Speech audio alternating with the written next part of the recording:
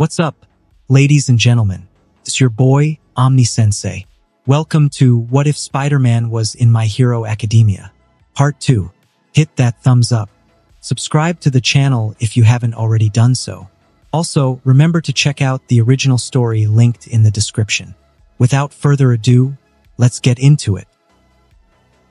行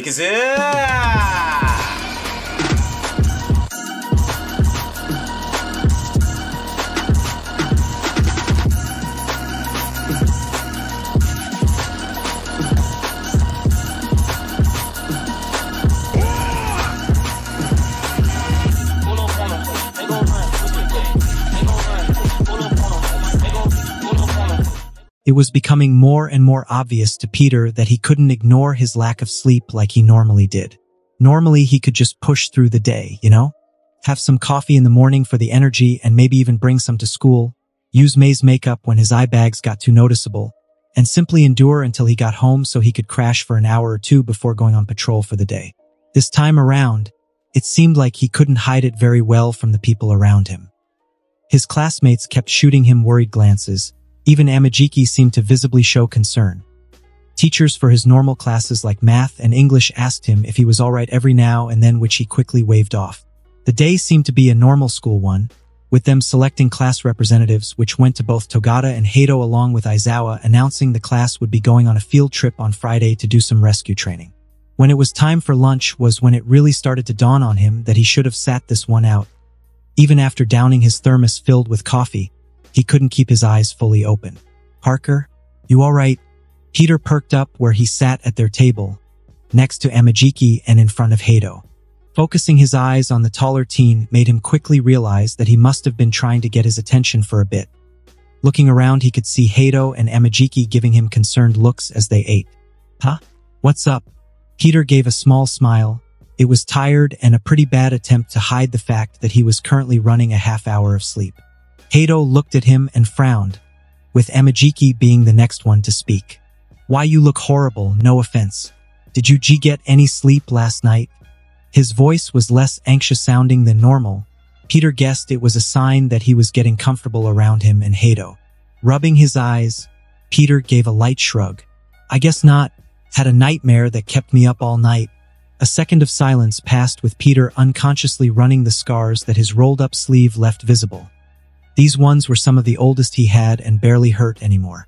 But it's fine. I'll probably ask Aizawa if I can sit out if we do training today. Peter reassured, inwardly sighing at how his friends seemed to relax slightly at him, saying he would take it easy. A small smile spread across his lips as he heard them talk regularly, if not a tiny bit tense. Rubbing his eyes, Peter looked straight ahead before Hato caught his attention by sliding a hand across to him. Do you want to talk about it? She asked, giving him the type of small smile you do when trying to convince a friend to open up. Tensing up, Peter held his hands up and shook his head. It's fine. Don't worry about it. He responded way too quickly, only getting a frown from his friend before she turned back to her food. He couldn't talk to them about the nightmare he had. They probably had better stuff to do anyway, at least better than listening about how he failed that girl. He didn't deserve that. Parker, Peter's head snapped up to look at Aizawa, the boy shaking his head to stay awake and take in his surroundings. This was homeroom, right? His three classmates and Aizawa were there, so it must be. Looking up at the clock, he could see it was around the time for heroics training. Aizawa gave the three remaining students a look, the teens hesitantly getting up and retrieving their suitcases from their lockers before leaving the room. Seeing this, Peter began to get up before being pushed back down onto his seat by a firm hand. You're sitting out from training today, and you're telling me what's going on. His teacher told him, lazily looking him over. He was sitting out? Thank God. In all honesty, Peter wasn't even meaning to ask Aizawa to sit out on training, but guess he didn't have to. Wait, what was that second part? Kneeling down to Peter's height when sitting, the hero kept his hand on the boy's shoulder while holding a neutral expression. You look horrible, kid. What happened? Tensing up, Peter began to trace his fingers across the scars on his forearm like usual. Jay, just a nightmare, you know? Didn't know you cared enough to be keeping an eye on me, Scarf Man. The chuckle that escaped him sounded dry and exhausted, It was a sad excuse of a chuckle now that Peter thought about it. So much for keeping it subtle. Huh? Looking over his features again, Aizawa sighed. Usually, you vex me. Well, I am known to be quite V-dash. Not today, you haven't even talked unless addressed. It is not like you, and it is illogical of me to try to get you to learn and improve in a state like that. The boy looked away. He could hear Aizawa rubbing his eyes with his free hand. You cannot learn to become a hero when there is obviously something bothering you this much. So we'll ask again, what happened? Peter bit the inside of his cheek, starting to bounce his leg while still not making eye contact. Should he even talk about this? He couldn't talk to May since she was busy at work, and he couldn't talk to his friends since they were busy doing training and stuff. But Aizawa? It was just the two of them in a room, with Peter not taking up the man's time in talking about what was going on. Looking at Aizawa, he could see the small bits of concern on his flat and neutral expression. Peter might as well, right? Taking a deep breath, Peter gave a small nod and rubbed his tired eyes to try and stay awake a bit longer. Seeing this, Aizawa stood back up and grabbed a chair from the desk next to them, placing it backward in front of Peter and sitting down. Well, remember how I said that I had a nightmare and all? Peter looked up from the desk and saw Aizawa nod. WL, it was about something that happened during my patrol. Before we met? The man asked, lacing his hands together as his arms hung over the back of the chair. It was about Two months after I started so probably a few weeks before you showed up, the hero took in the information while keeping a neutral expression before he nodded, allowing his student to go on. There was this G-girl on a rooftop I came across, green hair and green eyes and dashed up. His throat started to tighten up as he willingly remembered her. He ran a hand through his messy brown hair before he continued. IT tried to help her, you know? God, I barely knew what to do but a few tears fell from his eyes. Peter shut them as he gripped the fabric of his pants in frustration. Frustration mostly aimed at himself. Frustration for not being able to help her. She jumped, didn't she? Aizawa's voice was quiet but loud enough for Peter to hear. Looking up from the desk, he could see the man's expression had softened a bit. Peter looked into the man's eyes. I didn't even know her full name. Aizawa. I wasn't even F fast enough to catch her O or able to talk her OU out of it. The tears kept pouring down his cheeks. The room grew silent as Peter quietly sobbed. Have you talked to anyone about this, Parker? Hearing this, Peter cried harder for a second. I, I couldn't tell May or else she would F find out. He pushed the memory away. You know, I haven't thought about it for a few months. Peter continued to silently sob while occasionally sniffling as Aizawa kept silent, simply letting the boy cry. He was just so tired. He wanted to go to bed and get the day over with. He just wanted her to know he was sorry. YW was I the one there tea that night? Peter looked up once again and gave Aizawa a tired look, one that radiated both guilt and pure exhaustion. God, WY was I the O1 there F for her? Aizawa didn't utter a single word, simply placing a firm yet comforting hand on the boy's shoulder. Peter cried harder. I, I want to help people, you know? Oh? Fight the good fight and then just, just do my best T to make others' lives a bit better. I want to be able to save people while telling J jokes to L like, hide how freaking worried and scared I am so I can make them F feel safe. Why see couldn't I dash? Aizawa's face showed a hint of surprise for a moment before it reverted back to uninterest. Peter didn't notice either way. Peter simply hung his head low and quietly cried. His chest felt like it was being crushed as he tried to take deep breaths before he gave up and simply let his body keep breathing how it was. Why couldn't I help her? Peter asked in English, not bothering to switch to Japanese even if Aizawa seemed to understand. Still not speaking, Aizawa gripped Peter's shoulder a bit tighter to remind the boy he was there God. Why couldn't I Jay just... Peter began, speaking in English once more before quickly descending into more quiet sobs. The hand on his shoulder gave a firm squeeze. Peter only cried harder. Why couldn't he just save her? Minutes passed like this, the clock ticking on the wall being the only sound in the room aside from Peter's quiet sobs and him occasionally muttering an apology in English. Aizawa sat there, his hand on the boy's shoulder, and did not utter a single word as he cried. The man let Peter sob, not trying to interrupt. The man let him cry, cry about something he shouldn't have been exposed to. He let him know he was there. Without saying a single word, he let Peter do what he should have been doing months before. He let him grieve, something Peter didn't even know he needed. The man let him cry, cry about something he shouldn't have been exposed to. He let him know he was there. Without saying a single word, he let Peter do what he should have been doing months before. He let him grieve, something Peter didn't even know he needed. Twenty minutes passed, the two simply sitting in the room as the clock ticked on the wall before the tears stopped falling and Peter finally felt air enter his lungs in something other than frantic breaths. That suffocating and constricting feeling in his chest had been lifted the slightest bit, but the most since when the nightmare woke him up. And although a part of him told him he deserved to feel like that, Peter couldn't help but sigh at how great it felt to have that weight lifted. Even if it was the slightest bit. Parker, Peter perked up where he sat. He wiped his puffy and red eyes before sniffling and looking up at Aizawa.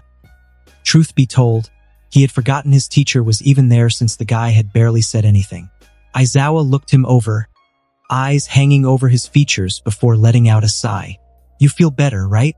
After letting it all out, the man asked, keeping his expression completely neutral. Peter thought about it. He couldn't help but admit he felt incredibly better than he did before. It felt like he could actually breathe right now. The boy simply nodded, rubbing his tired eyes while Aizawa nodded back. Like any other emotion does, crying releases a chemical into the brain. It makes you feel calm after you're done. That's why grieving is such an important thing to do when faced with things like that. Grieving, Peter wasn't too good at that now that he thought about it. The only time that he had to actively grieve about something was back when Ben died, and he spent much of that time distracting himself with being Spider-Man, with the only time he actively grieved was after he got arrested and spent some time with May. He cried a lot during that, but he felt much better after. Was that what he should have been doing? Not a lot of heroes have to deal with situations like that, Parker. Most of the ones who do are underground heroes who are more likely to deal with darker types of crime and small-time things compared to villains destroying a city. You were a middle schooler who shouldn't have been exposed to that. Not only that, but you also completely ignored dealing with the traumatic experience you went through and thus further worsened its effect on your health. Nodding his head, the teen simply looked down. You need to understand that some of the things you saw and went through while still an active vigilante, things like gunfights and drug deals among others, take a great toll on a hero. Not responding, Peter only nodded while thinking about what Aizawa was saying. The more he listened to him, Peter began to realize that he may or may not have a few unresolved issues he has been ignoring. While you don't seem to have anything like PTSD, the guilt and trauma you have do need to be addressed so they don't worsen. I will contact both Nezu and your guardian about setting you up with weekly sessions with Hound Dog where you can actually address the things you've gone through. Alright? Aizawa's voice still had that sense of neutralness and disinterest it always did. But Peter noticed it sounded gentler than normal. He wished Aizawa was on that rooftop that night. So, have to get over it? The teen asked, tracing the scars on his forearms. What you need to do is to come to terms with both it and everything else like it. You need to understand that those things that happened were not your fault. You may be able to lift tons, but you are still both a human and a kid. You need time to feel better. The man said slowly. Peter didn't know what it was. But something Aizawa said made Peter burst into tears. They didn't feel sad, they just felt tired. They felt relieved. Wiping the tears away, Peter looked at Aizawa who still had his hand on his shoulder. Thanks. Peter gave a small smile, his eyes still puffy and red. Aizawa stood up from his chair and shoved his hands in his pockets. Peter simply sat there. Don't mention it, problem child. Peter raised an eyebrow at the new nickname. He guessed it was a form of showing affection, at least in an Aizawa kind of way. So what now? His teacher looked at him for a moment before responding. You go to Recovery Girl's office and you take a nap. I'll tell your friends you're all right and wake you up when you have to go home. And then you grieve. You know what? That wasn't too bad of an idea. He was just so tired right now. Will you tell them about what happened? Peter asked, rolling his wrist and getting up from his seat. Only if you want me to, it's up to you. Thinking about it for a moment, Peter tried to decide on what to do. Friends told friends if something was up, right? He felt like he should do it himself, but didn't know if he had it in him to talk about what happened a second time. You can tell them, I just really need a nap. The boy gave a small laugh, grabbing his backpack from his locker, and headed to the door. Sure, you're also excused from school tomorrow if you need more time. Whether you show up or not, it's up to you, Aizawa informed, the teen only nodding in response. Oh, and Parker? Aizawa's voice stopped him in his tracks. Peter turning around to face the tired man. If stuff like this happens again, please talk to your friends or your aunt. I am not good with this comfort type of thing. Peter couldn't help but chuckle at that. He waved a small goodbye that was only returned in a grunt and headed out the door. As he walked the halls towards the infirmary, the brunette reached into his pocket and pulled out his cracked phone. Opening up Google, Peter searched for suicide victims that fit into Mizuku's descriptions to maybe find out where they were buried. Paying her respects was probably going to help with the grieving process, right? He guessed it was a step towards coming to terms with it. Ditching the jacket was starting to become a better and better idea as the day went on. It was slowly starting to get warmer and warmer. It was one month before June anyway. He might as well ditch it before summer got started, right? Besides, he could just add it back with some small changes when he needed a winter costume.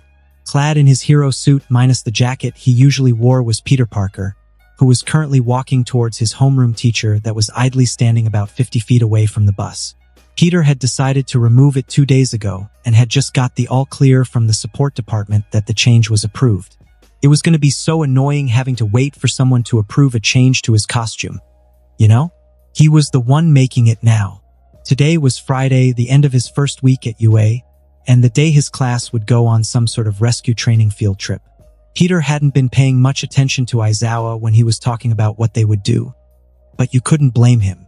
After what had happened on Tuesday, that being the nightmare about Mizuku and his talk with Aizawa, the brunette had ended up taking both Wednesday and Thursday off to try and do what his teacher told him. Grieve. It was pretty rough at first, but he had to admit he felt better after taking those two days off to let his emotions out. Most of it was spent crying in his room, not really doing anything, but he guesses that was part of the process. While he is still far from getting over it, he's getting there. At least he hopes he is. Continuing his pace, Peter soon came to stand beside the underground hero. Morning, Scarf Man, Peter greeted, putting his hands in his pockets. Peter would always be grateful for the support company not messing up his suit and making it skin tight. Who knows? Maybe there was an alternate universe version of him actually going around in a skin-tight suit. Man, that guy must look like a loser. Switching his gaze from the bus to the boy next to him, Aizawa gave a hum before turning back to the bus. Parker, the man said flatly. Peter couldn't really read the guy's expression since his hair was covering his eyes. The two stood in silence for a bit more, Peter checking his phone and seeing they still had about two minutes before they had to get on the bus. Wait, wasn't All Might supposed to be here? Pretty sure Aizawa said something about that on Tuesday. Are you alright? His teacher asked, his tone somewhat gentler than normal but still flat and uninterested. Ah, that meant he cared. Probably. Smiling under the mask, Peter gave a small nod. I will be, I think. Thanks for helping me out and all, it really means a lot. I'll get you a mug as a gift or something soon. He couldn't help but throw in the joke at the end but Aizawa didn't seem to mind. Have you talked to your aunt? Peter frowned, his lenses mimicking the expression. Yeah, we, uh, talked on the phone, but that's about it. She's busy with work in Tokyo, so we couldn't really see each other. The brunette watched Aizawa give a small frown at that. She doesn't live with you? And Peter might as well explain what was going on with that. He didn't want Aizawa getting the idea that May was a bad aunt or anything. You know? Well, she had to go live at an apartment she rented in Tokyo since her new job is there, and we kind of need the money, you know? That and she helps run the FEAST center over there. It happened after I got back from the exam, so it's new for me, but I'm figuring it out. She should be able to visit in a couple of weeks anyway. Silently, Aizawa only nodded and looked away from his student with an unreadable expression. Peter smiled softly behind the mask the boy standing by and rolling his shoulder. He enjoys their talks, although he did have a more serious question to ask. Hey, did you tell them about what happened? Peter asked, his voice low. Switching his gaze to Peter, Aizawa gave a nod. A weight that Peter didn't even know was there suddenly lifted off his shoulders. It was the most logical thing to do, so I told them both about the cause of your distress and your vigilante activity. Although they'll most likely not bring it up, you know what? That was good. While he didn't want to keep them in the dark or anything, a part of him didn't have it in him to tell them about all that stuff at once. Thanks, Aizawa. He smiled. Aizawa gave a short nod and turned back to the bus. Yeah, he was going to get him a mug to thank him for all he did the past few days. It's the least Peter could do, right? Field trip. The voice of Togata reached their ears, just in time for the blond boy to pop out of the ground with a blinding smile. Honestly, he really missed his friends the past few days. Who knew Peter would be in a position to even say that? That spider not only gave him powers, but also a social life. What a wonder of science. Too bad he killed it though. At least he's pretty sure he did. Field trip. Echoing his cry, Hato came flying in while carrying an embarrassed-looking Amajiki. Dropping him on the ground next to Togata, the girl did a loop in the air before landing next to Peter. He couldn't help but let a smile cross his face behind the mask. This was nice, you know? Hato was bouncing up and down in excitement while Togata was trying to hype up Amajiki for the coming exercise. Well, more like a field trip, because it was totally a field trip. All right, let's get going to the training location. Aizawa grumbled, beginning to usher in the teens onto the bus. And it is not a field trip. Peter, Togata, and Hato looked at each other for a moment, Amajiki idly standing by. Dude, it's totally a field trip, Peter chuckled, earning a few snickers from both Hato and Togata. Aizawa glared at him for what felt like ages. You three have detention for annoying me. Now let's go. Ah, uh, what? Why doesn't Tamaki? Amajiki looked between the three teens and Aizawa for a few seconds. Full-blown panic in his face. F-field trip. The man glared at the boy, Amajiki shrinking where he stood. Detention for Amajiki, too. Let's go. Aizawa rolled his eyes and stepped onto the bus. Yeah. Togata suddenly wrapped Amajiki in a bear hug and carried him to the bus while his friend, maybe more, hit his face with his hood. Peter and Hato stood there for a few seconds, simply watching them go before the brunette broke the silence. Am, am I the only one who feels like we're third-wheeling them? Because it feels like we are. Wait, really? I thought that was just me. They look super cute together, though. The girl laughed before starting to make her way to the bus, her hair trailing behind her as she hovered towards the vehicle. Following behind, Peter tried to ignore the scent of apples her hair left behind the short way there. I always wanted to ask, Amajiki began, anxiously bouncing his leg as Togata sat next to him. What is in that backpack, Parker? They were on the bus now, sitting on the two continuous seats that faced each other that were towards the front, with Peter and Hato on one and Amajiki and Togata on the other. It brought him a sense of nostalgia, you know? Kinda reminded him of the subways back in New York. Reaching behind him, Peter grabbed the backpack and put it on his lap before opening it up. When designing it, he kinda made it to carry the items he may not need as frequently, while his belt had stuff like extra regular webbing cartridges, gauze, and bandages along with his phone. Reaching inside, Peter pulled out a spare set of web shooters and goggles. I got these in case I need a backup, you know? My lenses have a tendency to crack and my web shooters sometimes get crushed. Amajiki shrunk in his seat. Peter had honestly forgotten that the guy cracked his lenses with a coconut during the battle trial. In all honesty, he couldn't even be mad, you know? Getting hit with a coconut was super funny. And painful, it kinda rattled his teeth. Oh, oh, can I use your web thingies? I always wanted to. Hato began bouncing up and down, Peter throwing one of the wrist devices at her, the girl catching it and snapping it on. Surprisingly, she actually fired a web that Togata phased through while playing with the line. No one ever thinks to double tap. Suddenly, the four jumped at Aizawa yelling at them to not use support gear on the bus. But who was it going to distract? The driver? It was a literal robot from the exam wearing a hat that said, bus driver on it. Scarf Man was just being unfun. Throwing the goggles and web shooters back into the bag, Peter then pulled out a few web cartridges that he held between his fingers. The word, cement, was written on them in bold English letters. These are some quick-dry cement webs. Have M saved up if I need to reinforce a building since they dry up when exposed to air and become pretty durable. But I can't use them as my regular webs since they take like 13 hours to dissolve and don't get affected by my regular dissolvent. He threw the cartridges back into their respective pockets inside the bag. Hato leaned towards Peter and started to peek inside it. Yeah, he was gonna ignore how close she was, which was incredibly close, by the way. He was just gonna ignore that. He threw the cartridges back into their respective pockets inside the bag. Hato leaned towards Peter and started to peek inside it. Yeah, he was gonna ignore how close she was, which was incredibly close, by the way. He was just gonna ignore that. Rummaging through the bag, Peter ignored the stress ball that had somehow found its way inside before pulling out what looked to be a see-through plastic container that had a clear liquid filling it and the cap of a spray can.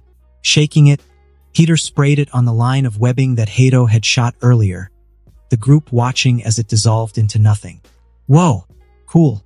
So you just carry that in case you need to get rid of the webs, right? Togata tried looking at the floor to try to find something that was left of the web, only to give up after finding nothing. Peter nodded and smiled behind the mask, throwing the can back inside the backpack. Reaching back inside, Peter pulled out a camera and a black flip phone. Amajiki tilted his head in confusion. Why do YU have those?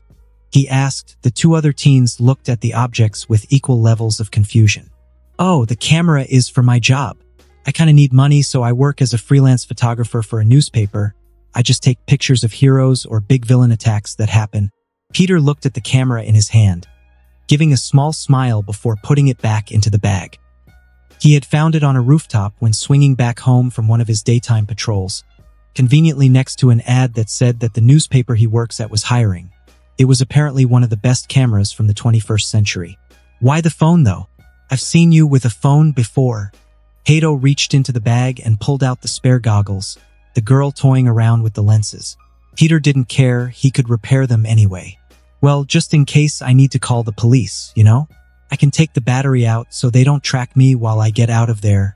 A beat of silence sounded through the bus, his friends looking at him as if he was stupid. That's exactly when it hit him. Wait, I'm doing this legally now. He wasn't a criminal anymore. He completely forgot. Why would a hero need to escape the police after capturing a villain? Man, he felt kind of stupid now. Now that he thought about it, that's probably why the idea for spare clothes in the bag was rejected by the support company since Peter had added them in case he needed to get out of costume. It'd take time to get used to that. That and the fact that both Togata and Amajiki knew now, but Peter could handle that. Putting the objects back in the bag and making a mental note to throw the phone away, Peter pulled out the last items. It was a black hardcover notebook with a sticker of a red version of Peter's spider symbol around the lower right. On Peter's other hand was a set of sticky notes and a few pens of different colors. Opening it up was a mess of notes and sketches for many different things, some being gadget ideas, chemical formulas, or costume designs and materials. Your handwriting kinda sucks. The girl beside him squinted at the notes, Peter noticing that she was now wearing his goggles. Pulling them off her and putting them back in the backpack, Hato gasped at her vision changing. Oh, now it looks normal. Your goggles make stuff look weird. Peter only rolled his eyes, handing the notebook to the girl and throwing the sticky notes and pens back into the bag. Togata stood up and sat next to Hato, looking at the book with Amajiki following suit. Wait, how were they reading that stuff? It was in English, although didn't Japanese schools teach English? It must be like the Spanish classes he took in middle school, except with a different alphabet cause Japanese was a weird language like that. Flipping through the book, the three scanned over the different pages of the book, flipping through the random assortment of scribbles and random post-it notes until coming across a specific page. Hato looked up at him while doing her best to hold in her laughter, Amajik, and Togata doing the same while Peter only raised an eyebrow behind the mask. Did you really design a spider mobile? Peter froze, groaning and dragging his hands through his face. I was going through a phase, all right? Designing the spider mobile was not a fond memory for him, that nor the fact that he did it while running on two hours of sleep. It was either the lack of sleep or the painkillers he took the night before after he got shot making him woozy that made his brain come up with the spider mobile. Can't YU climb walls? Why would you need a car? Amajiki questioned, looking at Peter over Togata's shoulder. Man, it was a cool idea at the time. Shut up.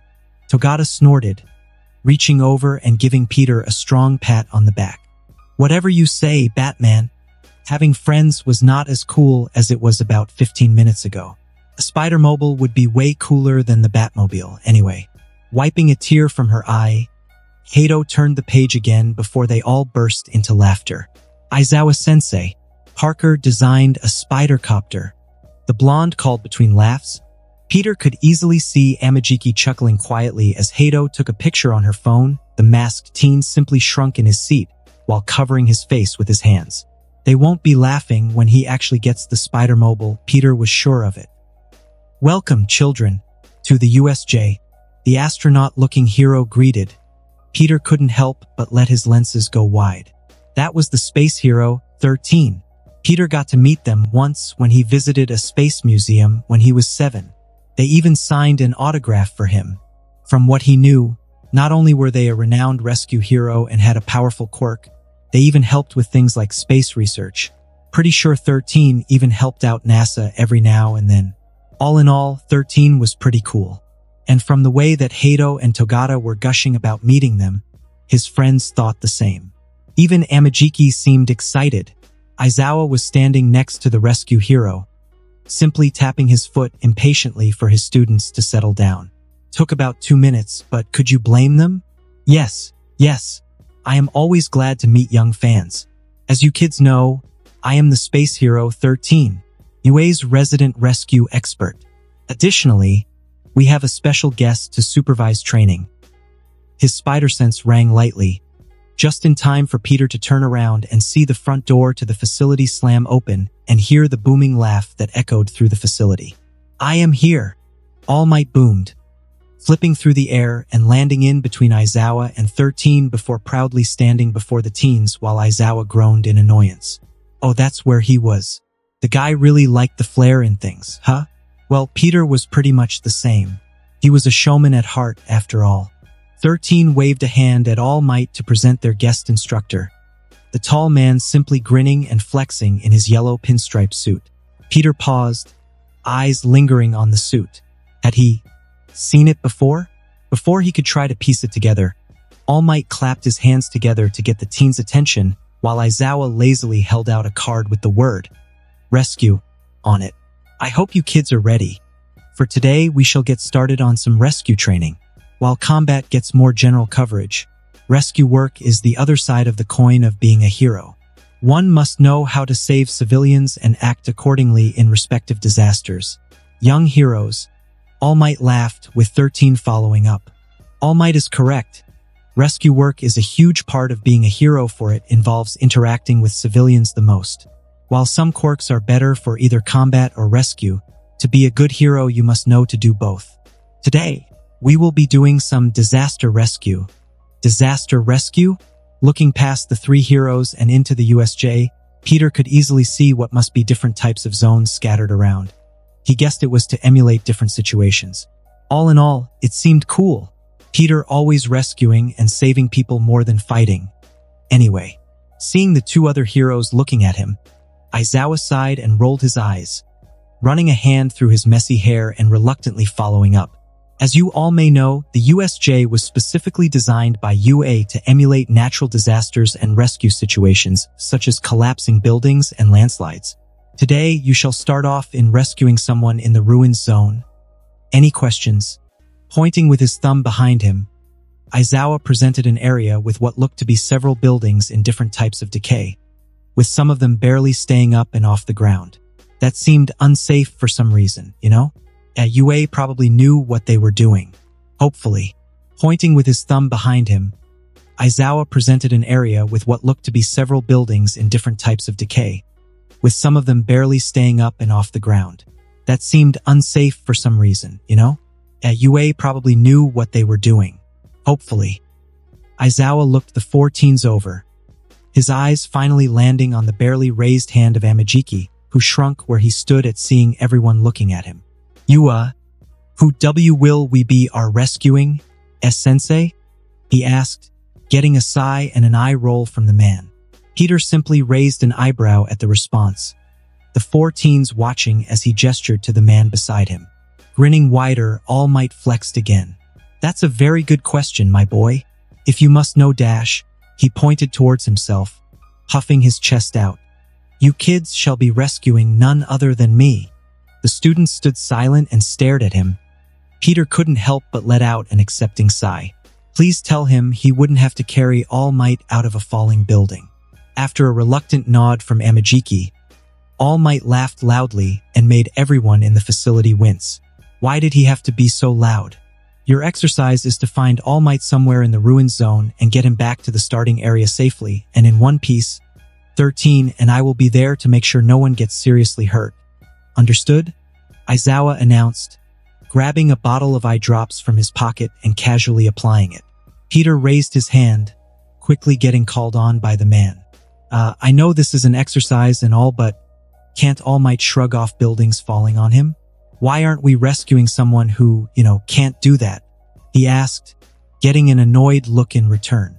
Something told him that Aizawa didn't agree to this whole thing with All Might. Now that he thought about it, did Scarf Man even like the guy?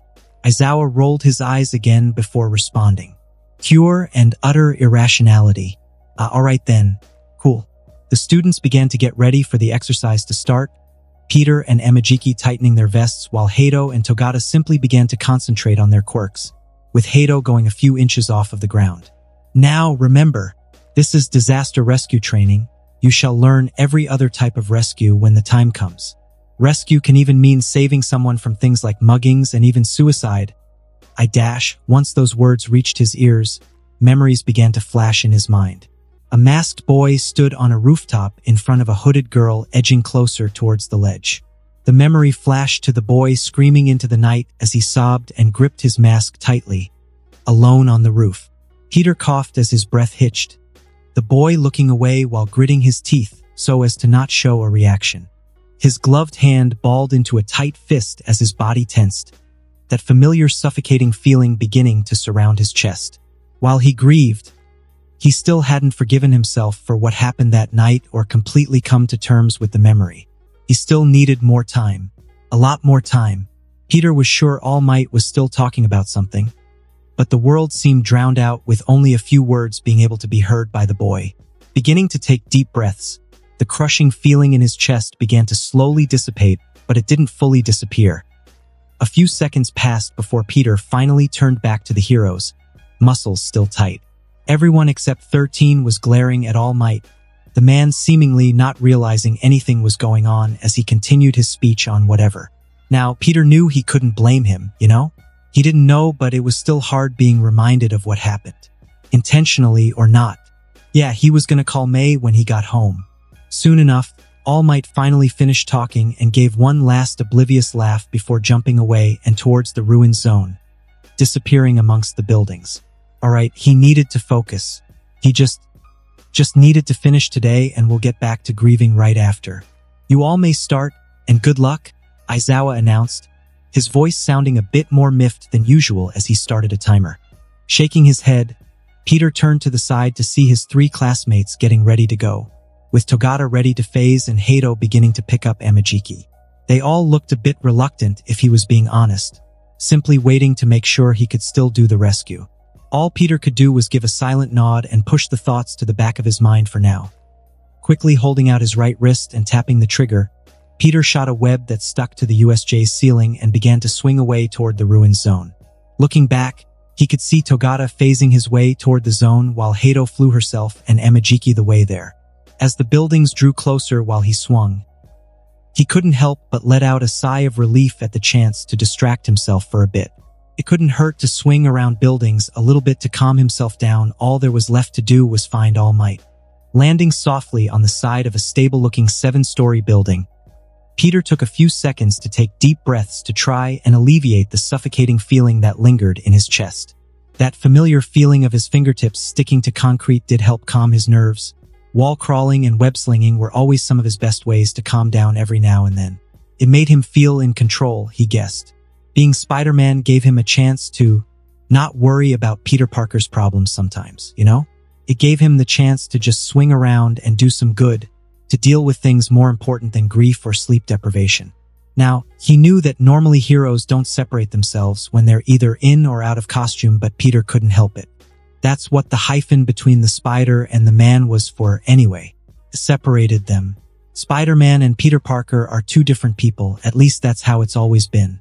That's how it'll probably stay. Yikes, that didn't sound healthy. Uh, he'd worry about it later and deal with it. Probably. He should probably talk to May about this stuff too. That'd come later. All he had to do was find All Might and be done with the exercise. A part of him hoped his classmates would find the guy first.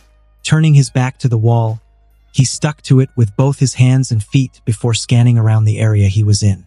From the view he got when swinging, the zone looked about one to two city blocks big, mostly composed of buildings in different states of decay and that ranged from 4 to 13 floors. He could work with that, just start from the higher places, work your way down and look for the civilian.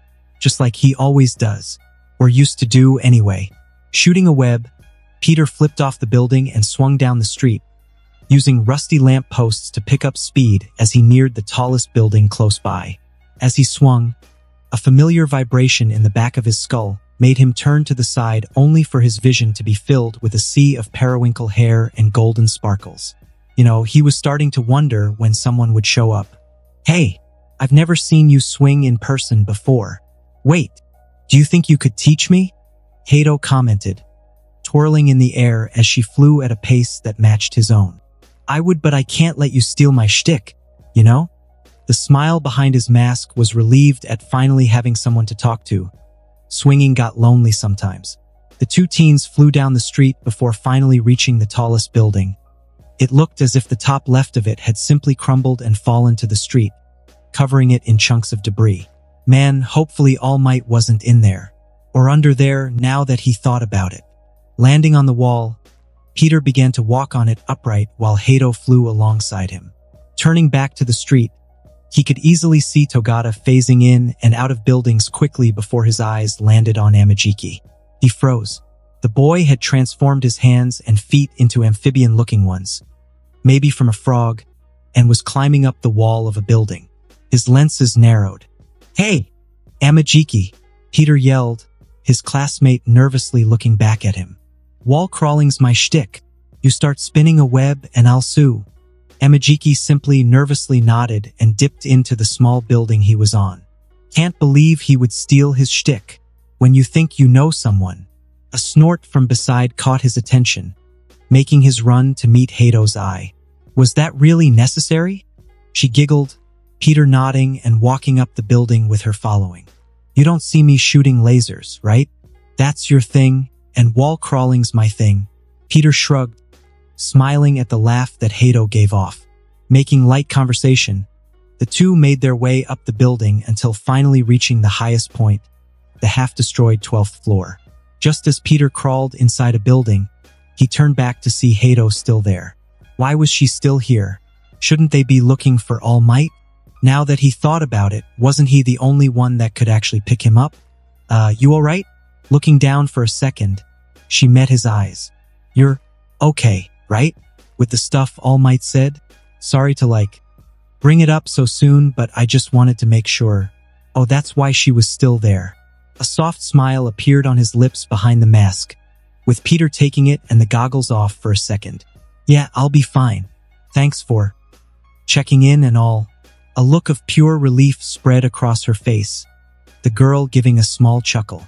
Oh, good. Honestly, the plan was for Togata-kun to be the one to talk to you, but he kinda lost you with all the swinging you were doing. Peter couldn't even help the laugh that escaped him. The boy leaning on the window frame he had just come in from. A part of him felt a bit stupid since about 80% of the floor was exposed. With the wall the window was on barely holding up. Wait, why did he even enter through a window? Probably the force of habit now that he thought about it. So, race you to finding All Might? He asked, a small smirk on his face as he pulled the mask and goggles over his face, hiding his features. Her face lit up almost immediately, blue eyes shining with excitement as she nodded up and down. You're on. Hearing this, Peter gave a thumbs up before he started to head deeper into the building. Oh, wait, I forgot I needed to ask you something. Hato flew through the window and ended up floating right next to him before landing. You want to have a sleepover with Togata-kun and Amajiki-kun? It'd be fun. Wait, did she say sleepover? Like, where you go over to someone's house and sleep there? Well, it was in the name, so it probably was that. I've never been to a sleepover, you sure? The gasp that Hato let out took what seemed to be a full minute. Part of him felt the need to make sure she could still, you know, breathe and all. You've never been to a sleepover? Peter slowly nodded. The girl let out another gasp that was slightly longer than the last one. Well, I can't have that. I'll text you about it later. We gotta find All Might. With that, the girl hopped off the ground and started to hover just off of it before shooting out of the window. Peter stood by, watching her fly by as the sparkles around him slowly turned to nothing. I didn't even agree. A face popped out of the cracked concrete wall beside him. Peter didn't even stop crawling on the ceiling. Found him yet? Togata asked. Peter simply shook his head in response. No, I've gone through this building twice already and nothing. What about you? Fully phasing through the wall and onto the hallway Peter was in. He watched as his classmate shook his head. Nah, and neither has Tamaki, so I've been starting to look through the rubble. Yeah, that did make more sense. He wasn't too knowledgeable about the proper way to do hero stuff, so he's kind of been going with his gut with the small hope his spider sense would let him know if he was near All Might. But the idea of most victims being under the rubble rather than in buildings did sound right. Maybe. He wasn't too sure on this whole thing, now that he thought about it. Wait, why didn't Aizawa even tell them how to go about this? Maybe All Might wasn't the only bad teacher here. Peter nodded and hopped down to the ground and stretched, sighing as his bones popped. Hey, I always wanted to ask. Peter began, rolling his shoulders. Are you and Amajiki a thing? Togata did a double take while his eyes went wide but Peter could easily spot the lightest blush on his cheeks. What, me and Tamaki? No, we'd never. You know, he laughed nervously while rubbing the back of his neck. The brunette stared at him for a moment, neither of the two moving before Togata awkwardly phased through the wall he had come from. All right. Then, shrugging off the interaction, Peter started to walk down the hall and out of the building. Stepping out of the building, Peter could easily see Hato flying all over the place while looking for their teacher, while Amajiki used tentacles to move pieces of rubble around. Well, they seemed to have the right idea. Turning his head to the safe point, he saw both Aizawa and 13 simply standing by, with Aizawa holding a clipboard in his hands as he eyed the class. The thought of asking Aizawa where All Might was passed through his mind before quickly being waved off. Their teacher wasn't one to provide help. Just as he was about to shoot a web, the sound of shifting rubble caught his attention and made his spider sense ring lightly. He was right behind him, wasn't he? Hey, young Parker. The voice of All Might came, nearly a whisper. It was probably the quietest Peter had ever heard the man talk. Either way, Peter couldn't help but flinch at hearing his voice.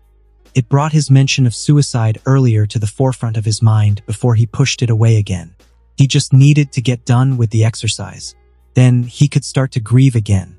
Shaking his head, Peter took in a deep breath before finally feeling the tension in his muscles fade. Turning around, the teen was met by the odd sight of the symbol of peace buried in rubble with only his feet and head visible.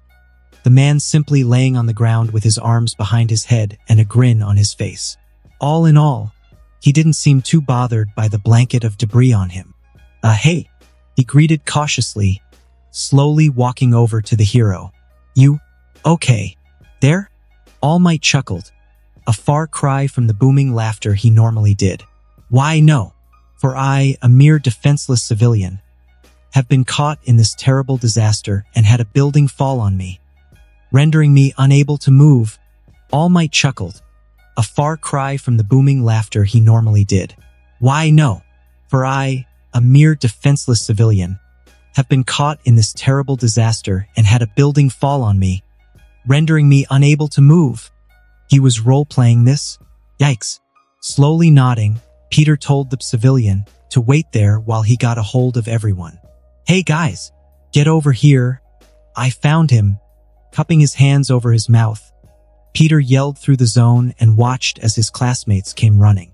Togata quickly popped out of the ground next to Peter, with Amajiki using bird-like wings on his back to glide out of a window and Hato flying over to them.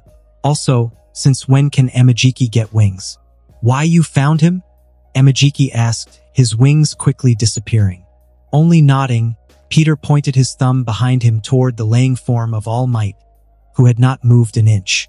Also, I think he's role-playing being a civilian or something. His classmates cringed. Peter couldn't help but understand. Wait, so how do we get him out? The blue-haired girl asked, shooting up a few inches of the ground and cupping her chin. Well, Amajiki and I should be able to get most of the rubble off and you guys can help with that. Sounds good? Seeing his friends nod in agreement, Peter began to lead them over to where All Might was. Once they got there, their teacher let out a booming laugh that made Peter wince. He hated his enhanced senses sometimes. Why? It is a miracle. It appears that these young heroes have finally come to rescue me. Huzzah! The man laughed. It was so loud that it knocked some of the smaller rocks off of the top of the pile on accident. Oh, he's really role-playing, Hato muttered from beside him. He could only give her a side glance before he and Amajiki started to throw the debris off of the man. Took what felt like a few minutes, but they managed to fully free the man. Just as the last of the rubble was thrown off of him, the hero began to roll around in an act of incredibly fake agony. It was hard to not get secondhand embarrassment, you know? He was pretty sure heroes back in New York weren't as dorky. Uh, are you hurt, sir? Kneeling down, Togata looked over the rolling form of All Might before looking at his classmates for help. Oh, I sure am. Some of that dastardly debris must have injured my leg. Oh, please tell me you heroes have bandages. He cried, all the while keeping that grin on his face. It was just so bizarre. Oh, um, sure. Quickly, Hato reached into one of the satchels around her thigh and pulled out a roll of white bandages before kneeling down next to Togata and beginning to apply it. You know, part of him actually thought those satchels she had didn't even carry anything. In all honesty, the only time Peter had ever seen a hero pull something out of a pouch was when Aizawa threw those smoke bombs at him that one time and Peter hadn't even seen the pouch they come from. And, done, she exclaimed, rising from the ground while Togata did the same. All Might, having returned to laying on the ground as if nothing happened, began to laugh. Excellent. Thank you for applying first aid to my leg, young heroes. Now, I believe the next course of action would be for you to get me to safety. But unfortunately, I cannot move. He was going to carry him, wasn't he? Rolling his eyes, his lenses mimicking the motion, Peter wordlessly stepped forward and took the man into his arms in a bridal carry. Thank you, young Parker. All Might sounded a bit off guard, but tried to keep his normal attitude. Let's just get this over with. This was not going to be a memory Peter would like to remember. Besides, he could barely see over the person he was carrying. As Peter jogged towards the safe zone, All Might in his arms, Hato flew beside him while laughing and taking pictures on her phone, with Togata and Amajiki snickering on his other side. Why are you guys even like this? Cause you look stupid. Hato laughed, flying all around him. Looking down, Peter couldn't help but notice the almost reminiscent look the man had as he muttered something about youth. Also, he looked way more familiar than he probably should. Wait, he can speak English, right? He's seen him speaking it in things like interviews. Maybe he should just ask him, you know? Might be worth a shot. Hey, All Might. Peter started, speaking in English while his friends began to talk to each other. Have we met before? Like, in person? All Might's eyes went wide as nervous sweat began to pour down his face. His sunken eyes started to dart around before he let out an awkward chuckle. You, uh, I do not believe so, no. Why do you ask? The man answered, speaking in near-perfect English with only a small accent being noticeable. Nothing. It's just that I felt like I've seen someone wearing that suit before. The boy shrugged, simply turning his eyes to the approaching starting area where Aizawa and 13 stood waiting. Even so, he couldn't miss the tension in All Might's body as he carried the man. Quickly, the group finally reached the starting area of the ruined zone, with Peter letting All Might back onto his feet and then standing in front of Aizawa and 13 with the rest of his class. All Might walked over to his fellow teachers, then cleared his throat. Well, good job, students. Very well done. His voice still sounded tense. Peter couldn't help but wonder why. Sighing, Aizawa decided to follow up. Yeah, you all did fine. All used their better mobility to get to both vantage points and places where civilians could have been stuck, even though you did waste a bit of time making conversation. But talking was his whole thing. Next up was 13, who quickly held up a thumbs up while the eyes on their helmet emoted to show a satisfied smile. Yes, you all did wonderfully, incredibly well for the first time you conducted any sort of disaster rescue. Not only that, but Hato's application of the bandage was good.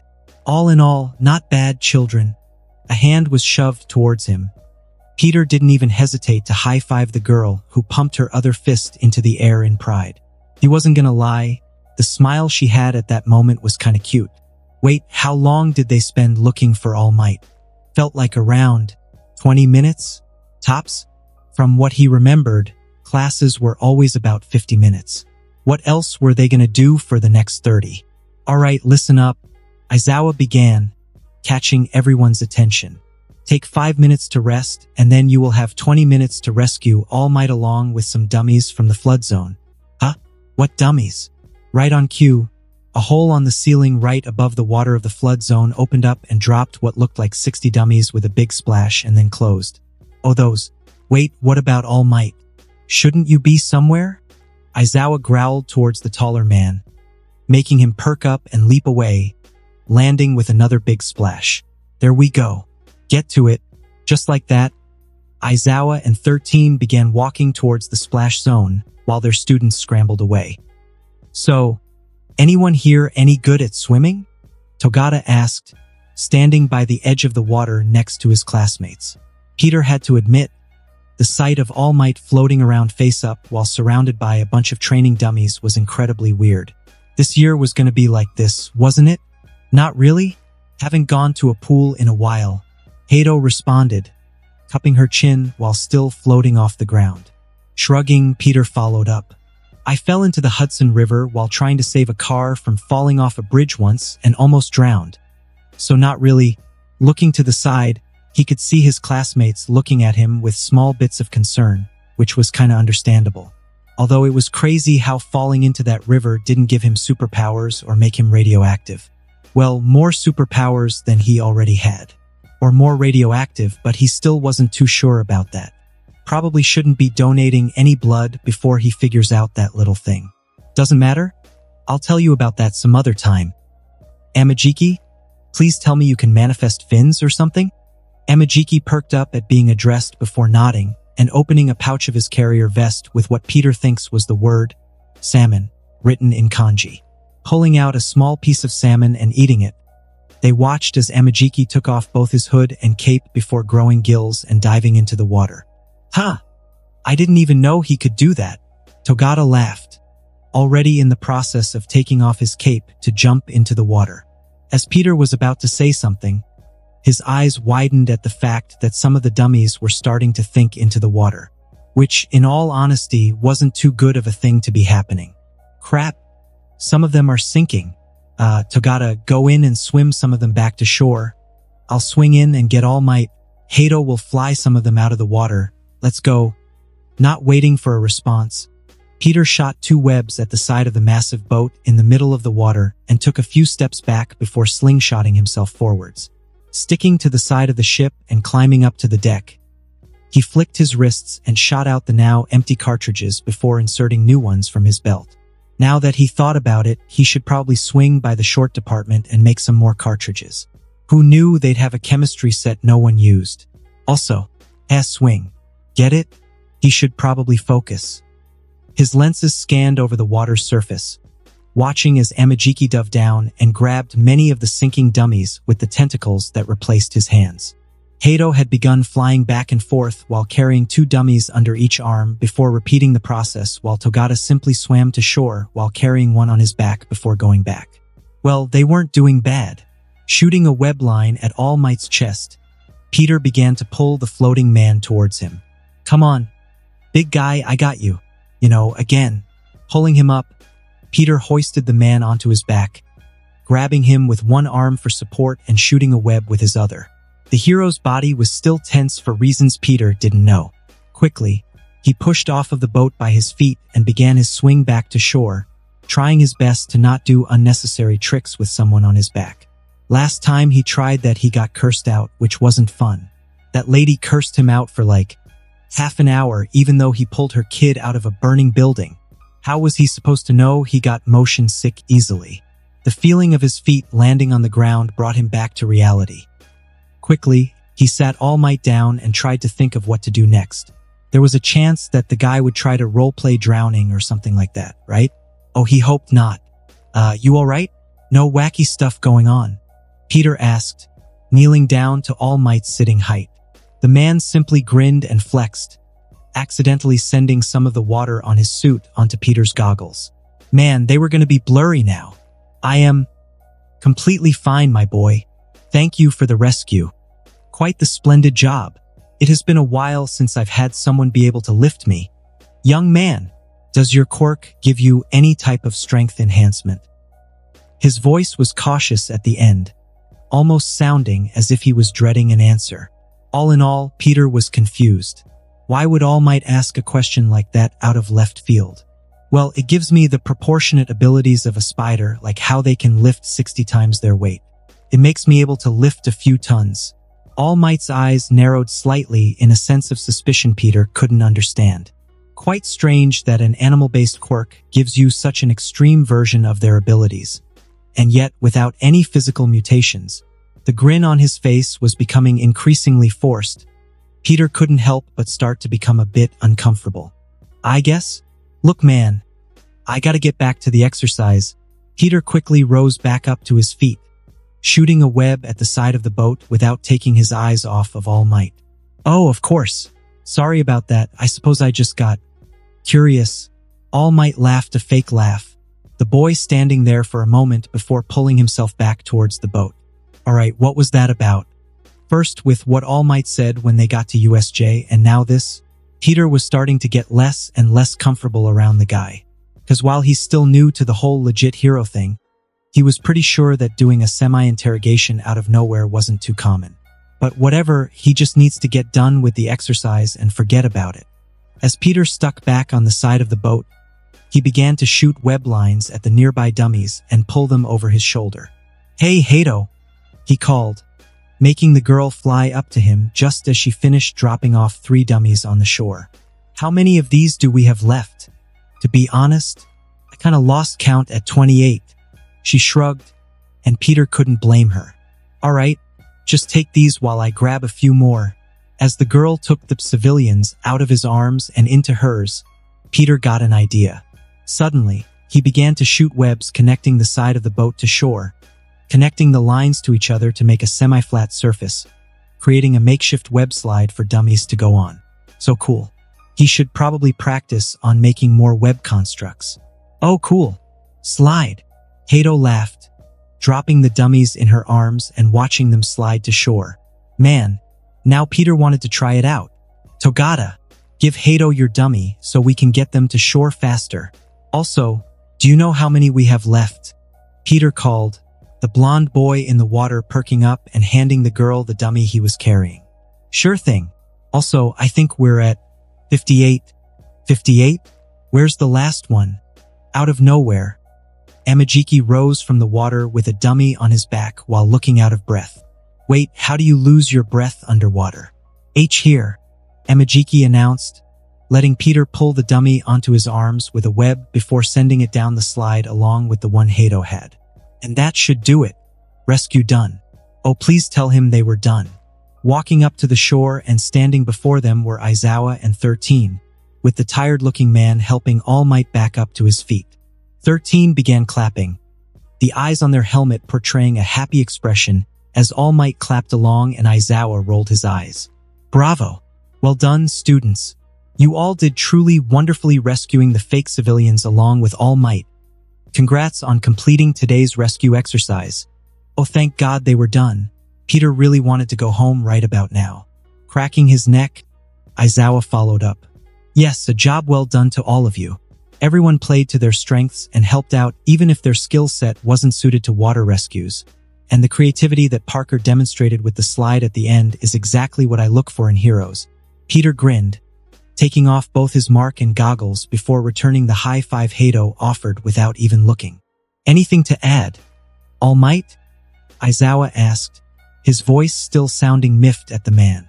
All Might's blue eyes trailed towards Peter, narrowing when finally landing on him before the man forced a grin. I do not believe I have anything to add. Aizawa. They all did marvelously. Nodding, the underground hero wrote some things down in his clipboard and checked the stopwatch in his hand before looking up and grinning. What scared Peter was that it was the same grin he had during his acceptance letter and the quirk test. Change of plans, you only took seven minutes to complete the exercise, so we still have a little less than half an hour left of class. Aizawa began. The brunette dreaded what he was going to say next. So we'll do one lady exercise. Get yourself to the conflagration zone and get to it. All Might simply leaped away and stepped into the zone, while Peter reluctantly put his mask and goggles back on. Yeah, he wasn't to get him that mug anymore. The scent of apples invaded his senses, along with the feeling of hair on his face. Also, why was he sleeping on the floor? It felt like he was in between two people, having the distinct feeling of someone grabbing his arm. Keeping his eyes closed, Peter moved to the side, accidentally bumping into something that gave a tired groan. Trying to move in the other direction resulted in bumping into something that gave a grunt that sounded more feminine. Alright, what? Either he was kidnapped or something else entirely. Opening his eyes, Peter finally saw the color of the sea of hair that was on him. Periwinkle. It was Hato, wasn't it? Looking over to the side, he saw his friend fast asleep while having his arm locked in a grip that seemed way too strong for her to have. Her hair was a complete and total mess, splayed out all around her and in a series of knots but she didn't seem to mind. Peter's face grew a bit hotter when realizing what was happening only to grow even hotter when noticing how her hot breath felt against his skin. Wait, why was she on his floor? Or in his house? Or grabbing his arm? Looking to the other side, he was met with what was unmistakably Togata's broad back, the boy also seeming to be asleep. Wait, where was Amajiki?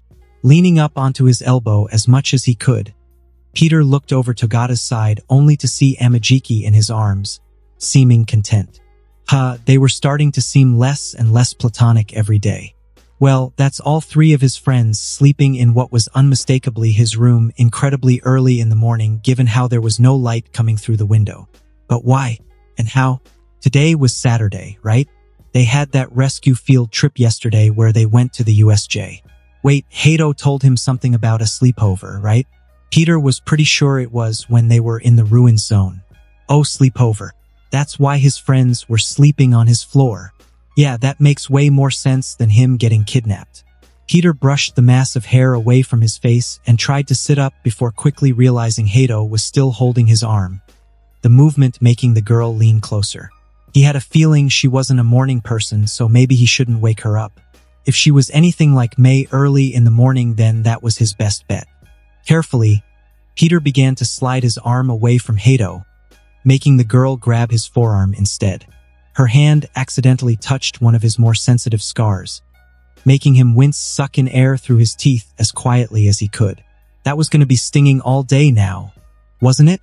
Now even more careful. Peter slipped out of Hato's hold and watched as the girl pouted in her sleep. You know, she looked kinda cute asleep. Alright, he should probably get started on the day since he probably wasn't going back to sleep. Even if he desperately wanted to, Pretty sure he only managed to fall asleep at around 2 a.m. last night. His clock slash microwave hybrid read that it was currently 5.12 a.m., with the dark sky outside his window to prove it. It was way too early. Carefully slipping out from in between his friends and standing up, Peter sighed and rubbed his tired eyes before stepping out of his room and into the hall. His American-style apartment was pretty modest, all things considered. A kitchen, two bedrooms for him and May with closets along with a decent living room. Well, it wasn't small by any means, but it wasn't big either, you know? It was the best they could get with what they had. But Peter wasn't one to complain about being lower middle class. It was theirs, and that was enough for him. May's paycheck along with Ben's life insurance were the things that actually let them pay the bills. with Peter's photography job being enough for things like groceries and stuff that wasn't necessary. Still, it wouldn't be too bad to have some extra cash, but whatever. Now, what to make for breakfast? His friends probably weren't going to wake for another hour or two, so he should be able to have something by then. Looking over the cabinets in the kitchen, Peter shrugged and grabbed a bag of sugar along with some baking powder, flour, and some more ingredients before setting them on the kitchen counter. Hopefully they were fine with pancakes. He'd try his aunt's wheat cakes, but he wasn't too good at making them yet. He just hoped he didn't mess this breakfast up, although he should probably change into something more fit for the job first. Grabbing his web shooters that were conveniently laying on the kitchen table, Peter shot a web and pulled the apron that was laying on the kitchen island into his hands before putting it on. It was white in color and soft to the touch along with pictures of cute animals and hearts on it with the words, sweetest chef, written at the bottom in English. That apron was one of the last things that Ben ever gave May, probably one of her most treasured positions now that he thought about it. The day after she left for Tokyo, she called him and said that she left the apron there as a way for him to remember them both. Man, you wouldn't believe how much he cried that day. A quick glance at the clock on the wall let him know it hasn't been even five minutes since he woke up. And another glance at the clock caused him to sigh and rub his eyes. He was so tired. You know what? He'd just wait until later to start cooking. It'd be dumb if he got done too early and have the pancakes end up cold by the time everyone woke up. Normally he'd take a cold shower to wake himself up, but today he was just not feeling that level of motivation. As some coffee would have to do, it was the best next thing. Peter yawned, pouring water into the reservoir of the machine and adding a few tablespoons of coffee grounds onto the filter before he pressed a button and watched as the carafe filled up with dark liquid. From what he heard, the coffee ground he buys is made by some guy whose quirk allows him to increase the caffeine in anything. Pretty specific for a quirk, but useful. The teen rubbed his eyes again as he started to walk towards the kitchen table, pulling back a chair and sitting down. He'd just sit and listen to the coffee brew while he waited, probably play on his phone a bit. A few seconds passed before he realized something. His phone was still in his room. All right, change of plans. He really didn't want to get up again, so he'd just sit there and wait for the coffee. In silence. God, he hated mornings. Man, he couldn't even turn on the TV or else risk waking everyone up. Maybe he should just go to sleep on the table. Just as his eyes began to close, the small vibration at the back of his skull jolted him up. Good morning, Hato greeted, somehow making her way from his room to the table without opening her eyes. As she sat down on the seat across from him, Peter couldn't help but chuckle softly at how she had her long hair wrapped around her neck like a scarf.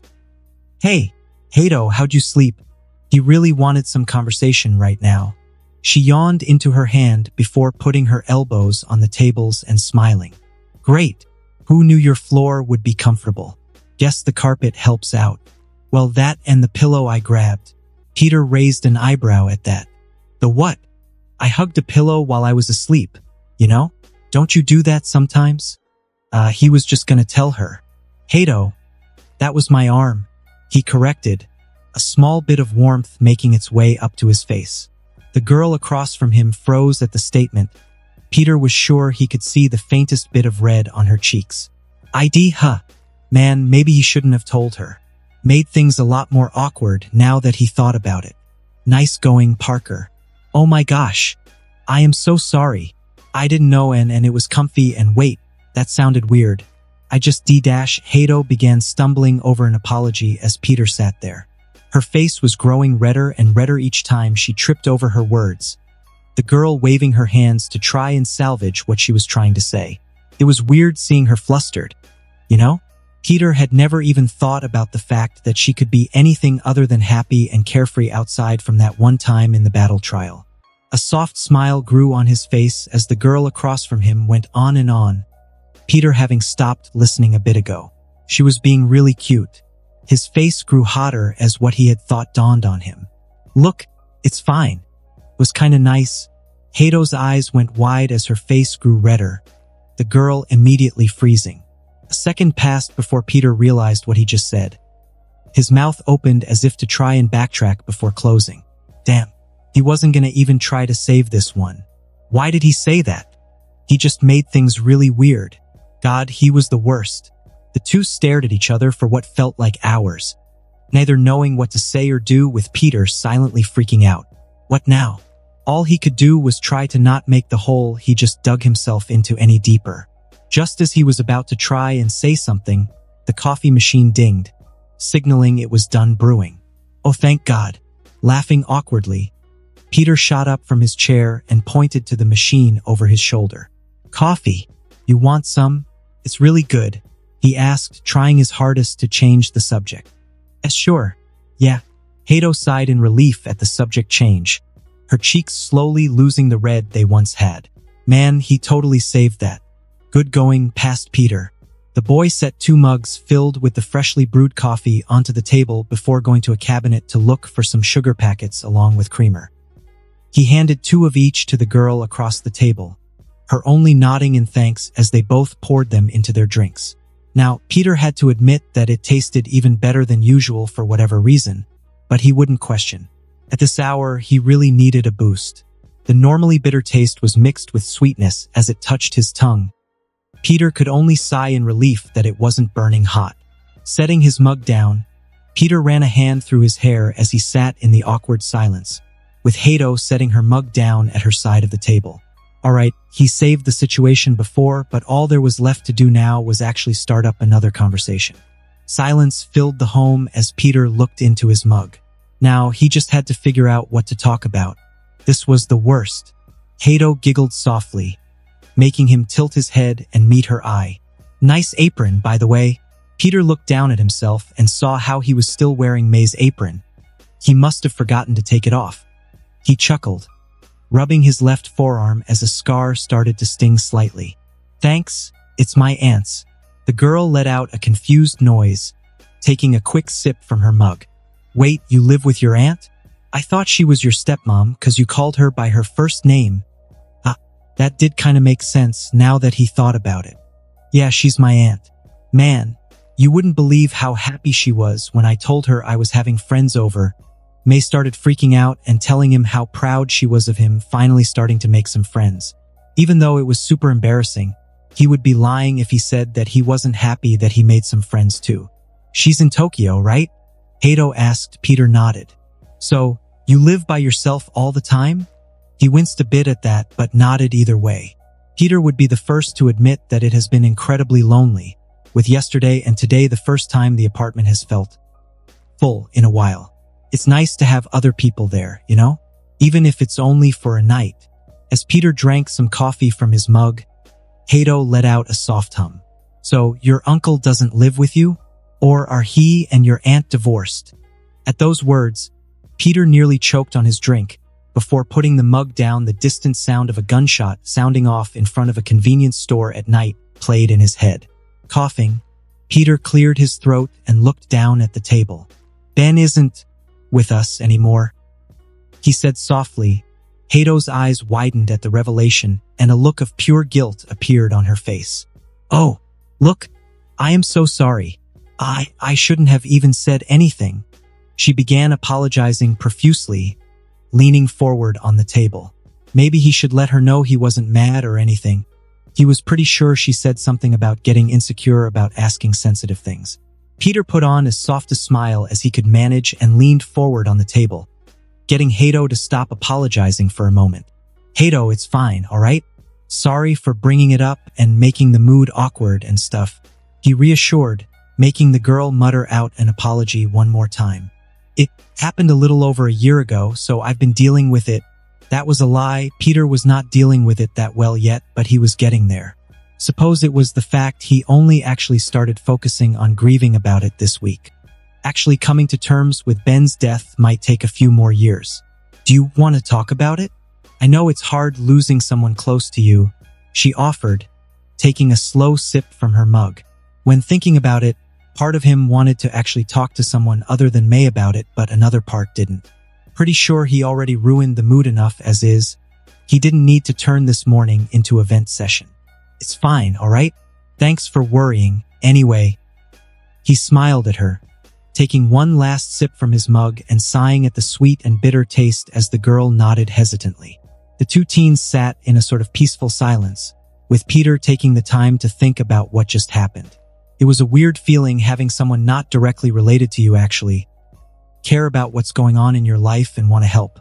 But that's what Hato has done for the past few months he's known her, along with Amajiki and Togata. A part of him wanted to let them know he appreciated them, you know? Peter's never been good with emotional type stuff, so he could just buy them something with his next paycheck the bugle gives him. Wait, he might need that paycheck for groceries. So that was a no-go. Maybe something that didn't cost him money he didn't have? Something sentimental. Hold up, Japanese people had a whole thing where they called people close to them by their first name, right? Hey, Hato. Peter started already a plan in mind. He just hoped it didn't make things awkward. Hmm, she looked up from her mug and gave him a soft smile that made him feel warm for whatever reason. Since we're friends and all, can you call me Peter instead of Parker? That's something Japanese people do, right? What he didn't expect was for Hato to adopt a blush and raise her eyebrows up to her hairline. Crap. Did he mess it up? Please tell him he didn't mess it up. Why you sure? I see couldn't dash. The girl seemed incredibly flustered. Way more than he felt that she should be. Her face was growing redder and redder, with the blush contrasting her periwinkle hair that somehow shone. She looked great. Wait. Focus. Dude, we don't have to if you don't wanna. It's just that I really like having you as a friend and stuff and kinda wanted to show you I appreciate you, you know? Nodding, Hato let out a soft laugh as her face seemed to grow a bit redder while her blue eyes softened a bit. Oh, uh, sure. Yeah, yeah. I, uh, yeah. All right, Pa Peter. Huh, she dropped the honorifics too. Peter didn't even know that was supposed to happen. It was good though, he didn't like honorifics that much. You can call me Nejire then, she added, pushing a strand of her messy hair behind her left ear in a way that made his heartbeat a bit faster. Alright, he'd need to figure out what that was all about later, because he was pretty sure it wasn't a normal thing. A sure thing. Peter chuckled, taking a look back at the clock to see it was 547 just as a few grumbles of someone waking up came from his room. Guess they got tired of cuddling. But seriously, who does that at a sleepover? Good for them anyway. Hey, you're good with eating pancakes, right? It's probably the best idea I got for breakfast right now. He asked, watching as the girl shot up from her chair. Pancakes. I'll help you. Hanijire exclaimed, already moving towards the ingredients he had laid out on the counter. Peter smiled softly as the girl got to work, before realizing he should probably be helping out too. Thanks, Nejire. Sitting at his desk, Peter couldn't help but feel a bit more relaxed now. Today had been going great so far. He got on a first-name basis with Nejire, had some incredible pancakes, hung out with his friends a bit before they had to make their way to school, and even found the yen equivalent to about 20 bucks. It just felt like he couldn't lose today, like he was finally catching a break free from his problems. At least for today. Even if it was a half day today, cause Japan was weird like that. Seriously, who approved having school on Saturdays? Hanijire was bouncing up and down talking to Amajiki about something, while Peter was having a conversation with Togata, talking to him about a very important subject. Are you sure you guys aren't a thing? Togata's cheeks grew a bit redder, with the boy waving his hands in defense. No, me and Tamaki aren't like that. Dude, you were cuddling at a sleepover, with two other people sleeping next to you. You know, Peter didn't even know why he cared. Guess it was either out of pure boredom or frustration of neither of the two actually making a move. Maybe a little bit of both. I moved in my sleep. We aren't like that. The brunette was about to say something before an idea hit him. An explanation. Are you scared to tell him? He asked, unconsciously tracing the scars on his forearm. The blonde was about to protest before pausing and hanging his head in defeat. Absolutely terrified, ah there we go. All Peter could do was give him a sympathetic pat on the shoulder before changing the subject. Maybe he'd help him out if they took too long to get together. Yeah, that might be entertaining. Peter pulled out his phone, seeing how they still had about a minute before class. Scrolling down a news app he used to use to find crimes, he could see that All Might had caught that sludge villain that held that middle schooler hostage earlier in the morning. At the end of the article, Peter's eyes widened at the name of the hostage the villain had taken that day. A head of spiky ash blonde hair, angry crimson eyes along with what seemed like a permanent scowl that portrayed nothing but annoyance and hatred. Katsuki Bakugo. It was that second year with the explosion quirk back at Aldera. The one that went around school like he owned it and was a total jerk all the time. Man, either way, Peter couldn't help but feel a bit sorry for him. Even if he was a horrible person and just sucked to be around, no one deserved to be held hostage by a villain like that. Not even him. Quickly, Peter turned off his cracked phone and placed it back into his pocket, just as the back of his head tingled slightly to signal the giant door opening. Morning, Aizawa greeted, hands in his pockets as he walked up to the podium. I have a few announcements to make. Oh, that wasn't ominous at all. 20 bucks that he makes some merchandise and starts giving out autographs. First off, good job at the USJ yesterday. It was by design that you got thrown into the exercise without actually being told how to conduct rescues to see how you guys did. Not bad. Peter had to resist the urge of calling Aizawa a proud mom right then and there. He'll probably do it when he gets him that world's best mom mug. Crap, he's gonna need to save up for that joke. It'll be worth it. Second, we'll be having another field trip next week. Aizawa started. The brunette only raised an eyebrow and leaned forward in his seat. Nezu wants to try and have more educational heroics classes, so he's set up for the hero course to go to the Mizutofu Museum of International Heroics. Class B will go on Tuesday and will go on Wednesday. You know what? That sounded kinda cool. Peter hadn't been too much of a museum guy, but he's heard that the Mizutofu Museum of International Heroics was probably one of the best museums in the world. Now, he wasn't too knowledgeable on what exactly was there, but he's heard they even had some exhibits on some X-Men things. Might be cool to see stuff about American heroes. Wait, maybe he could take some pictures there to sell to the Bugle. And lastly, the UA Sports Festival is coming up in two weeks. Their teacher announced, with everyone but Peter voicing their excitement. Even Amajiki seemed pumped. Thing was, Peter wasn't entirely too sure about what the sports festival even was. Given how he had been pretty preoccupied for the last year, spider powers and all, he hasn't had a chance to actually tune into the event. From what he understood, it was some sort of massive event that UA hosted every year and broadcasted to the entire country for students to show off. Given how this is on par with the Olympics back in the 21st century, there will be a lot of eyes on it. It will be the prime opportunity for you four to show off your abilities and get noticed by agencies for internships and work studies. Not only that, but as there are currently 16 open spots in this class, general education students will be aiming to show that they belong in this course. Noticed by agencies. Peter was pretty confident on the idea of not being affiliated with an agency when he actually gets a license since that just wasn't his style, but he guessed it'd be good experience right now. I mean, Mirko made it to Japan's top 10 without an agency or sidekicks. Why couldn't he? Wait, could he get an internship with Mirko? That'd be sick. Too bad she didn't take sidekicks. Now, I kept you four in this class because I can see potential, and I expect for you to show everyone that same potential and do your best, plus ultra. Aizawa said, running a hand through his hair before pulling out his yellow sleeping bag from somewhere and went to sleep right then and there. Huh, that was probably his version of a pep talk.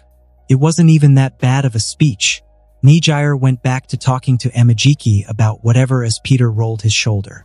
He wasn't the competitive type, but he wanted to do good at that festival. Not too sure about trying to win the whole thing, but he was going to try his best to show the world that he deserved to be where he was now, to show himself, to show May and Ben. He'd be spectacular out there. Just for them, do we really have to be in costume for this? Peter asked, checking to see his web shooters were loaded for some reason. Not like he was going to use them anyway. I don't get why you're complaining, I love wearing my costume. Nejire looked as if she was about to use her quirk to do a spin before stopping herself and remembering where they were. It just feels weird going to a museum wearing a vest made out of Kevlar and carbon nanofibers. Tugging at his vest, Peter checked to see it was zipped up all the way and that the extra cartridges were still in the small pockets. Good thing he finally got around to making more cartridges on Monday. Be quiet so I can focus on the road, Aizawa grumbled from his place at the steering wheel, face showing annoyance. I don't need us getting into an accident. Peter chuckled as he rested his head on the back support, closing his eyes before realizing something. Hey, Why does Amajiki get to be in front? His teacher glared at him through the rearview mirror. Because he's tolerable. Eh, that's fair. Today was Wednesday, his second week at UA, and the day that his class would be going on their field trip to the Mizudafu Museum of International Heroics, with their sister class of 1B having gone the day before. But still, who knew that a field trip would end up with them sitting in Aizawa's car as they drove there? Not gonna lie, he half expected it to be the type of minivan soccer moms use. It was less hobo-looking than he thought, though. It even looked presentable. Thing is, since 1B has a full class of 20 students, they got to ride the type of bus they took to the USJ.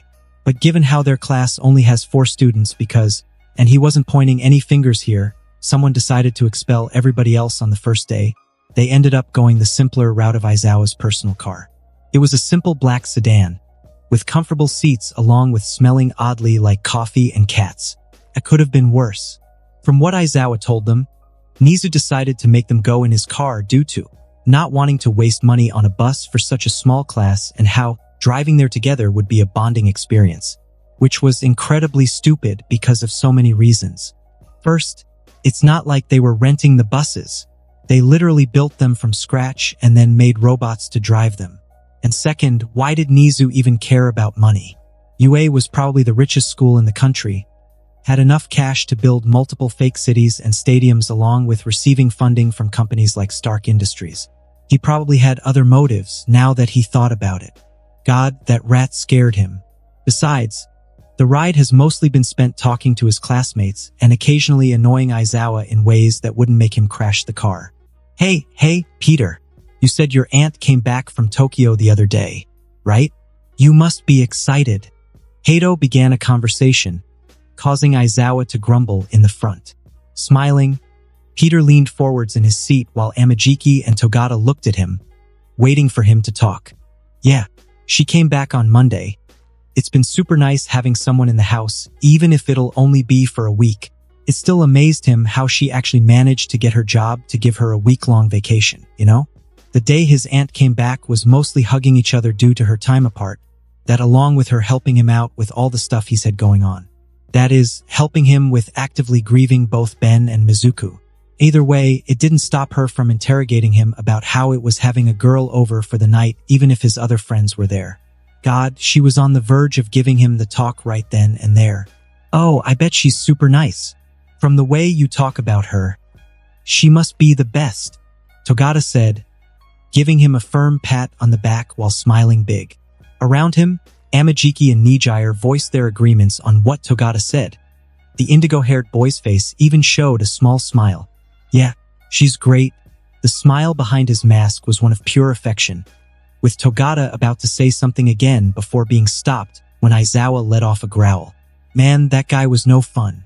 As the world passed by the window Peter sat by, with Hado at the other bouncing up and down and she talked to Togata who was in the middle, he tightened his hold on his new backpack that sat on his lap.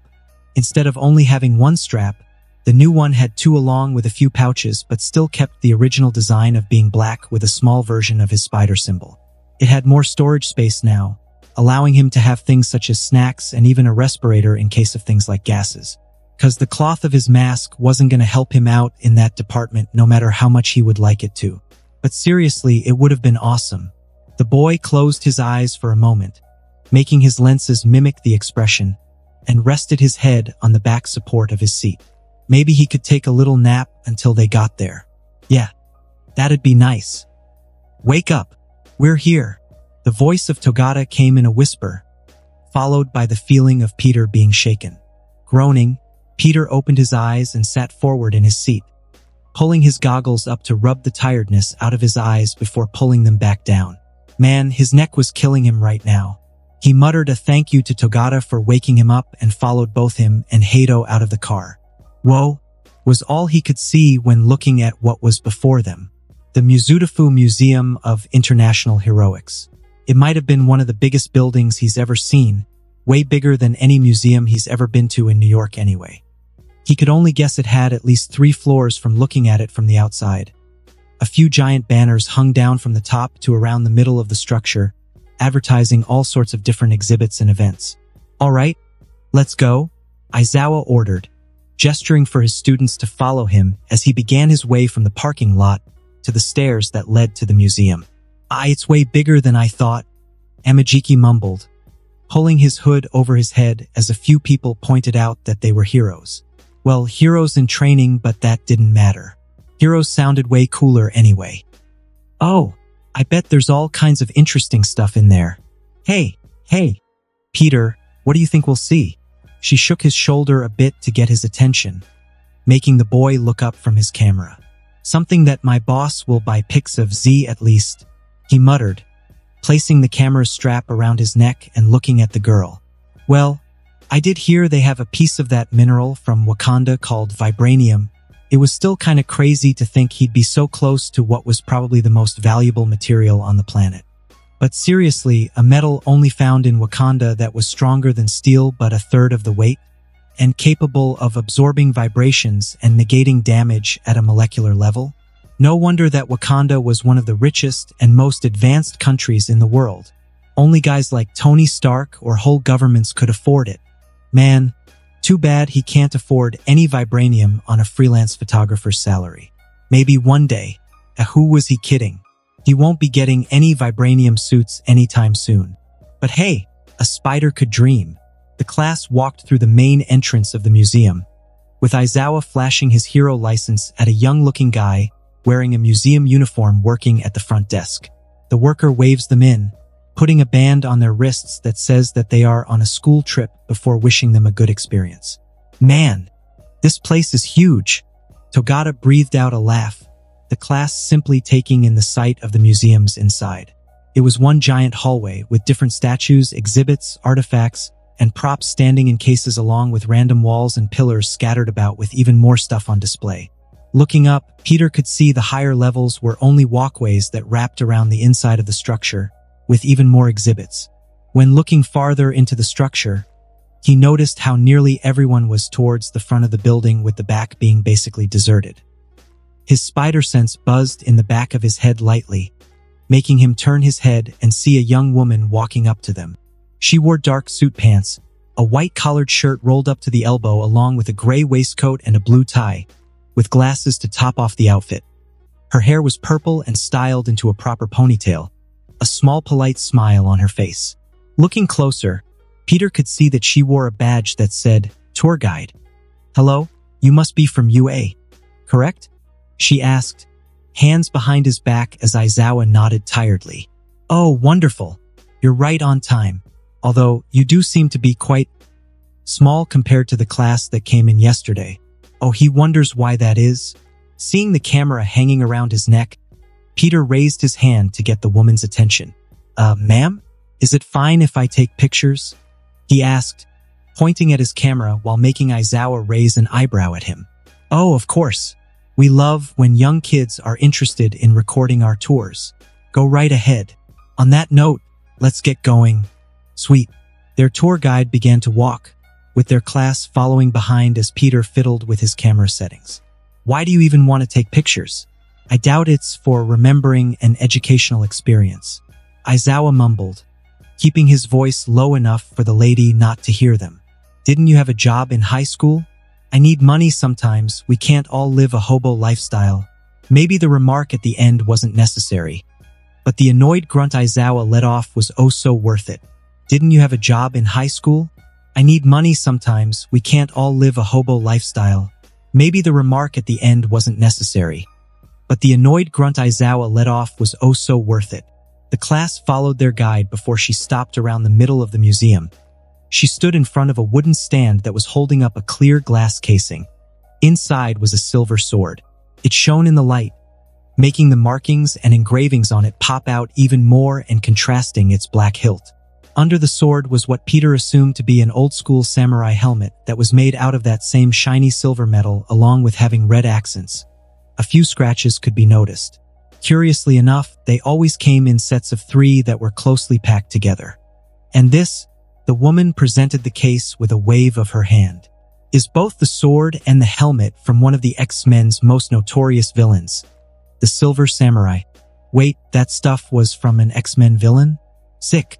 Wait, don't the X-Men normally operate in the US? Why do you guys have some of their villain stuff here? Togata asked, cupping his chin.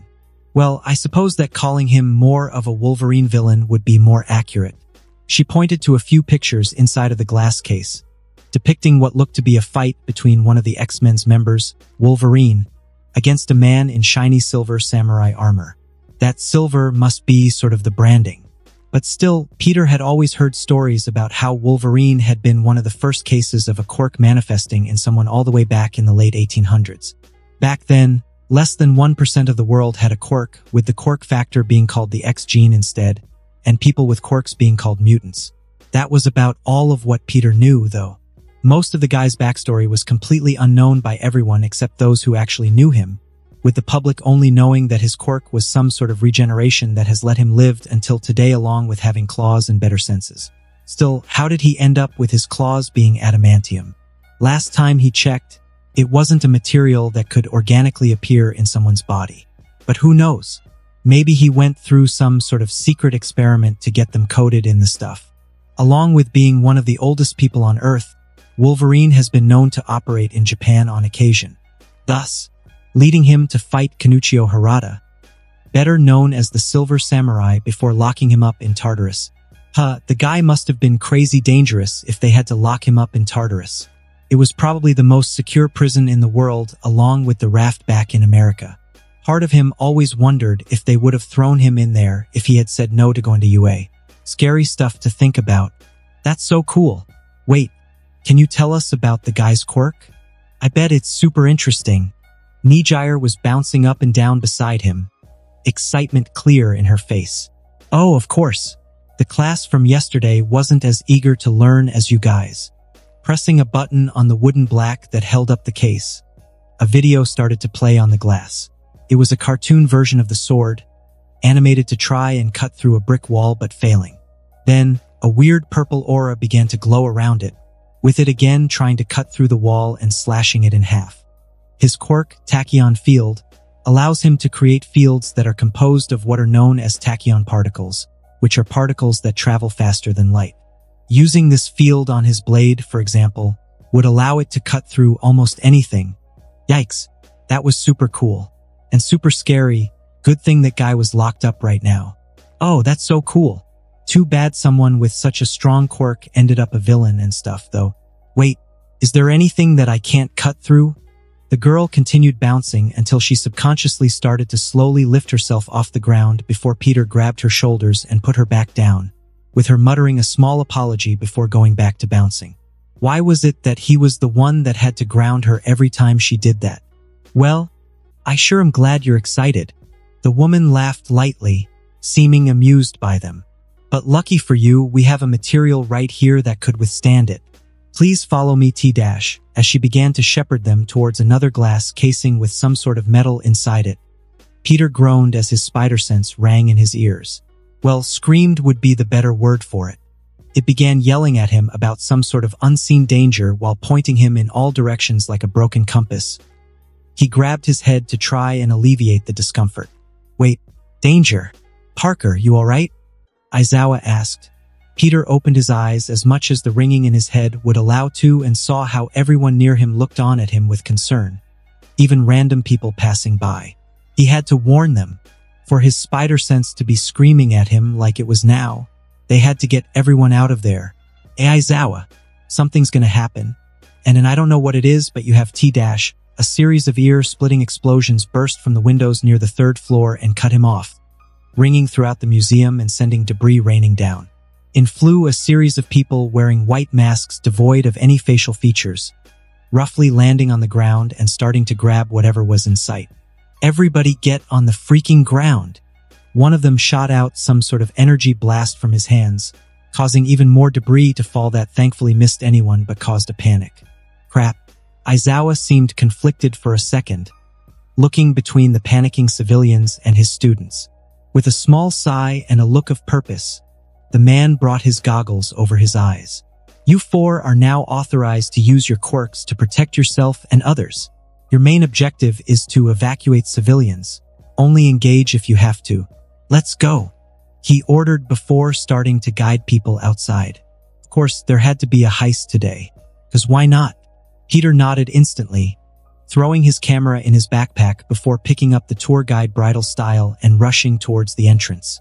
Although a bit hesitantly, his other classmates nodded and began getting people out as soon as possible, with Aizawa doing the same. Now, Peter knew better than anyone that he wasn't too knowledgeable on proper procedure when it came to being a hero and doing hero stuff. Even so, there was one thing he had known from the start. Civilians come first. You get them out of there before you do anything else. No matter what, you put everything else on hold to save them. Civilians always come first. Going as fast as his legs would carry him while people screamed around him, Peter let their tour back onto her feet when they reached the entrance, Peter leaving her outside. You okay?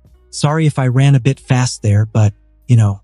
Peter gave a vague wave of his hand, letting the woman get her panicked breathing under control. Why yes, thank you so much. God, this has never happened in the museum's history. May I please get your name? I can't repay you enough for getting me out of there. Peter was about to say something before pausing, thinking over the words before giving her a reassuring smile under the mask. I'm just your friendly neighborhood Spider-Man. With that, Peter shot a web that stuck to the museum's high ceiling and swung back into action. He knew there were a lot of people in danger. Man, he was probably in a lot more danger than the people he was supposed to be rescuing, now that he thought about it. Even so, that dumb happy feeling in his chest wouldn't go away. That woman heard him say who he was, and she smiled. She didn't call him a menace or a criminal or anything like that. God, you wouldn't believe how much that meant to him. But that didn't matter now. He had things to do and people to help. Landing on one of the random pillars that were scattered about, Peter finally took a moment to scan over what was happening. Looking at the people doing the heist, he could see none of them had guns visible, meaning that they most likely didn't have long-range options outside of Quirks. From what he counted, there had to be about 15 or so. At around where they were when the attack started, Aizawa and Nejire were escorting people outside while Amajiki and Togata helped those caught in the initial debris that fell. Wait, a heist meant that they were trying to steal something, right? As his lenses narrowed on the villains, he could see them trying to haul as many exhibits and artifacts as they could, running toward a line that connected to the hole they came in. Well, he can't have that. Peter began to shoot webs at the hole on the wall that they came from, sealing it off with a thick layer of silk and hopping down to the ground before they noticed who did it. While it would be cool to get into a fight with a villain, that wasn't in his best interest.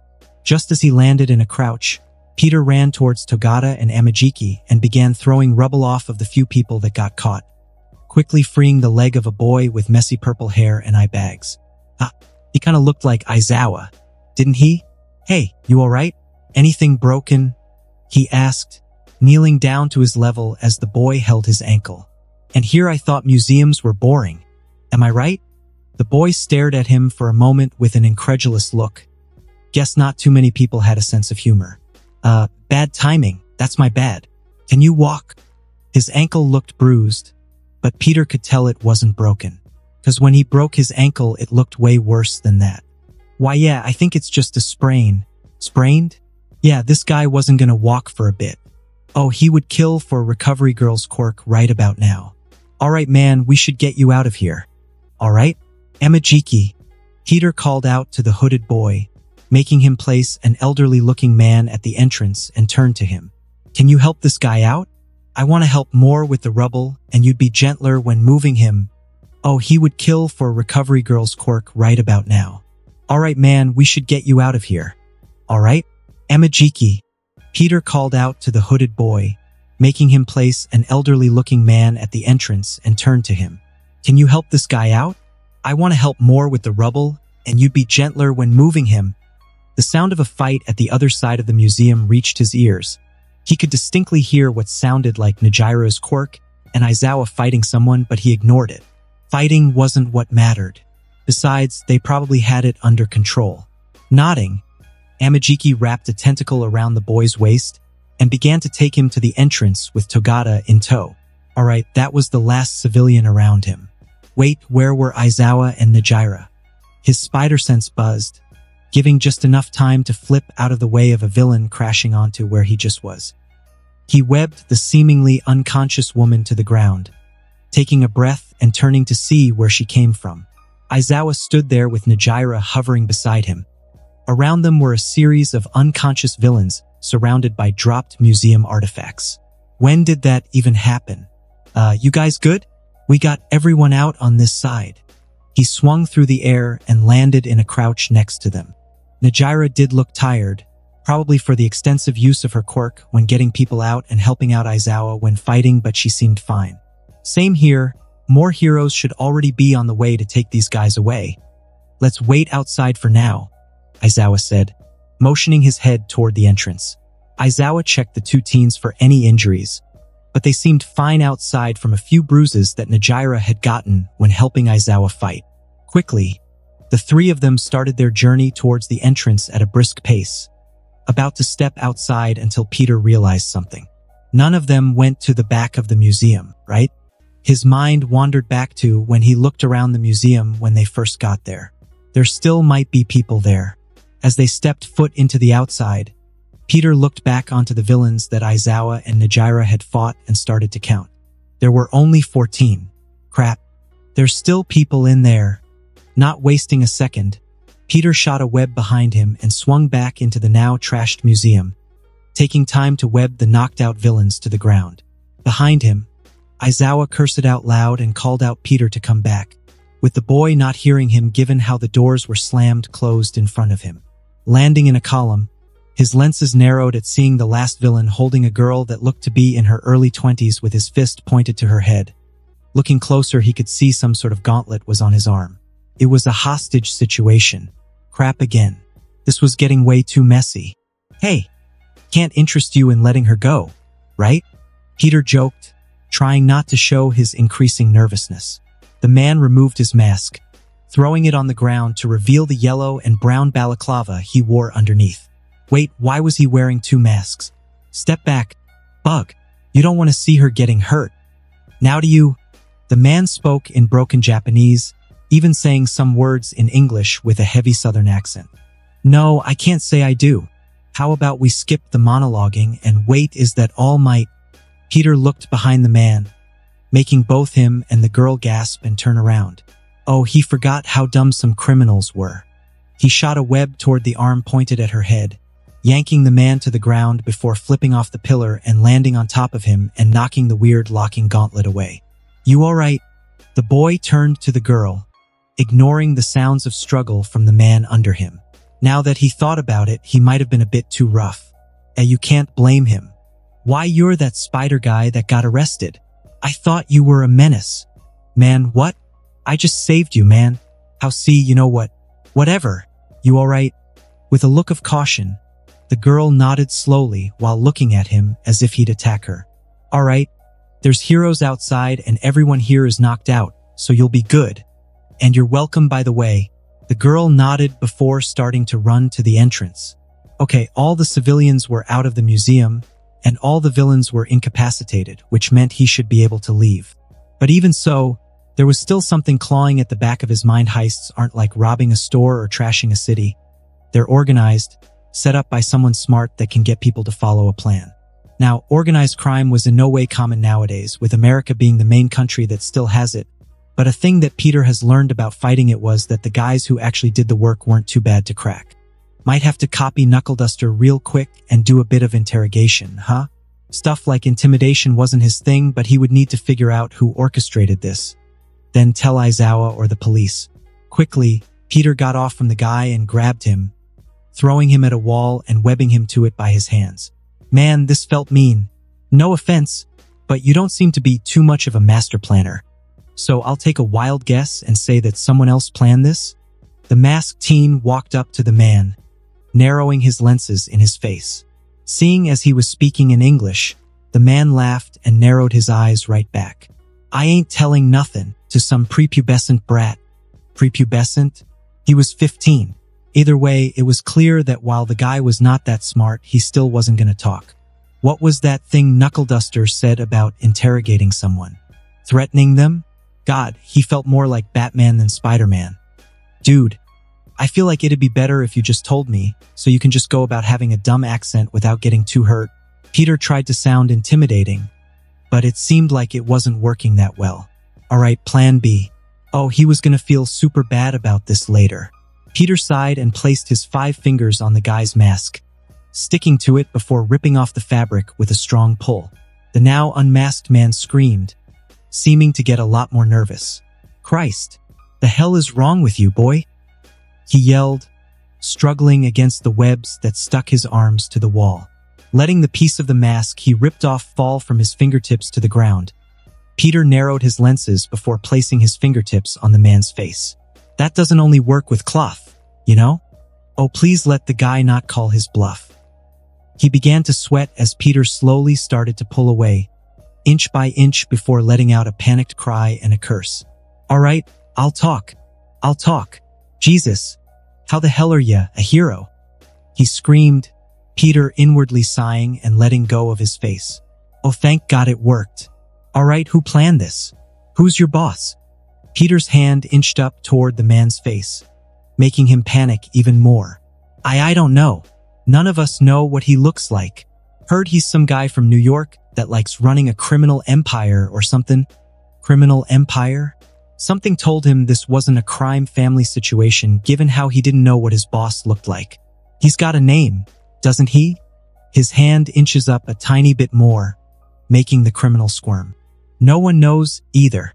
He goes by an alias. His lenses narrowed as he inched his hand even closer, making the man hurry up. He calls himself the big man. That's all I know. The big man. Huh? Alright, thanks.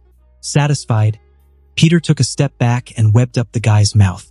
He'd have to tell Aizawa about this. Big man of crime. Underground work probably faces way more organized crime than daylight heroes. You know, I didn't expect you to talk that easily. In all honesty, I'm shocked. Peter laughed lightly, reloading his web shooters without taking his eyes off of him. Okay, everyone was accounted for, criminals and villains alike, and he even figured out who was behind all of this. All in all, not bad. He was a bit scared he'd be rusty on all of this. Well, all there's left to do was go outside a freeze. His spider sense screamed in his ears, giving him enough time to rip the criminal off of the wall and grab him before jumping away from a torrent of fire that would have no doubt hit them both. His lenses widened in surprise at seeing the blue-clad man now standing in the museum, flames coming off of parts of his body. The number two hero, Endeavor, Great. He could just turn this guy in. Oh, hey man. Look, I got him for US dash. Not. Another. Word. The man growled. Flames burning brighter. Now come quietly, Villa. What did he call him? Uh, you're talking to him, right? Peter chuckled nervously, pointing at the man he was holding. Well, I already got him. Endeavor's blue eyes narrowed at the boy, a scowl growing on his face. I know who you are, Spider-Man. A menace, a vigilante and villain. That is no doubt working with these low lives to steal from the museum. Huh? Villain? Criminal? He was the good guy here. Dropping the man and webbing him to the floor, Peter raised his hands in defense, unintentionally making the hero's flames grow brighter. What? I'm a UA student. I got caught on a field trip when these guys came in. I'm not working with them. He defended, a pleading expression behind his mask. The hero laughed, aiming his hands at the boy. A likely story. UA would never accept criminals like you. Now, stop resisting and you shall not be harmed much. No way. This wasn't happening. Resisting? I'm trying to tell you what's really going on. Why you can't seriously believe I'm working with them. Please, please believe him. Very well then. Flames began to burn in the man's arms, Peter already feeling a bit of the heat. You do not want to cooperate? So be it. I shall make you... Oh no, why was he just standing there? He had to tell him he got it all wrong. God, stop standing there. Say something. Oh, damn me. Another torrent of fire was shot in his direction. Peter quickly ripping the webbed-up criminal from the ground and diving behind a pillar for cover. Even though he was behind the stone column, the heat was becoming unbearable. Fire took up oxygen and used it as fuel, but he should be fine given how the windows were blown up, giving him air to breathe. Either way, breathing wouldn't be easy if he got burnt or started to dehydrate. This was not happening. Oh, and now you're protecting a criminal from me? More proof as to why I must arrest you, boy. Wait, he knew he was a kid? And he was still doing this? Oh, this was just so messed up. Endeavor. Japan's number two ranked hero for the past 20-something years. And the top-ranked hero when it came to both civilian and villain casualties in cases he's involved in. And he was currently trying to fight Peter. Oh man. He was to be a statistic. Now, Peter's opinion on Endeavor was pretty split. As a person, the guy sucked. He was a walking PR disaster that seemed to want to be a hero just to surpass All Might instead of actually helping people. As a hero, though, that part was a bit more complicated. Even if Peter didn't like his personality that much, he couldn't ignore the fact that he got results 90% of the time, even if he didn't act heroic, catching villains and saving people from things like attacks and disasters. That is when he isn't burning villains alive or getting random civilians caught in accidental collateral damage, along with causing property destruction that caused millions to repair. And that same guy was trying to fight Peter. This wasn't even Parker luck at this point, you know? There had to be some dark magic at work for him to be getting into this whole debacle. Man, the dehydration was probably starting to kick in. He just used the word debacle. Crap. Alright. Relax. Flames kept coming in waves, the pillar he had his back to starting getting hotter as it diverted the fire as if it was some rock in a lake. Hold up, that was a really good analogy. Wait. Focus. Oh, he was so screwed. Reaching into his belt while dropping the man he was holding to the ground, Peter started to search through his pouches for something that could help him. Some sort of identification or something. All it was all just web cartridges, gadgets, and first aid supplies. Crap. Switching to his backpack, he frantically dug through the bag as his panic began to increase. Peter was smart, people told him that all the time and he was decently confident in his brain. And it told him that there was no reality out there in which he wins against Endeavor in a straight-up fight.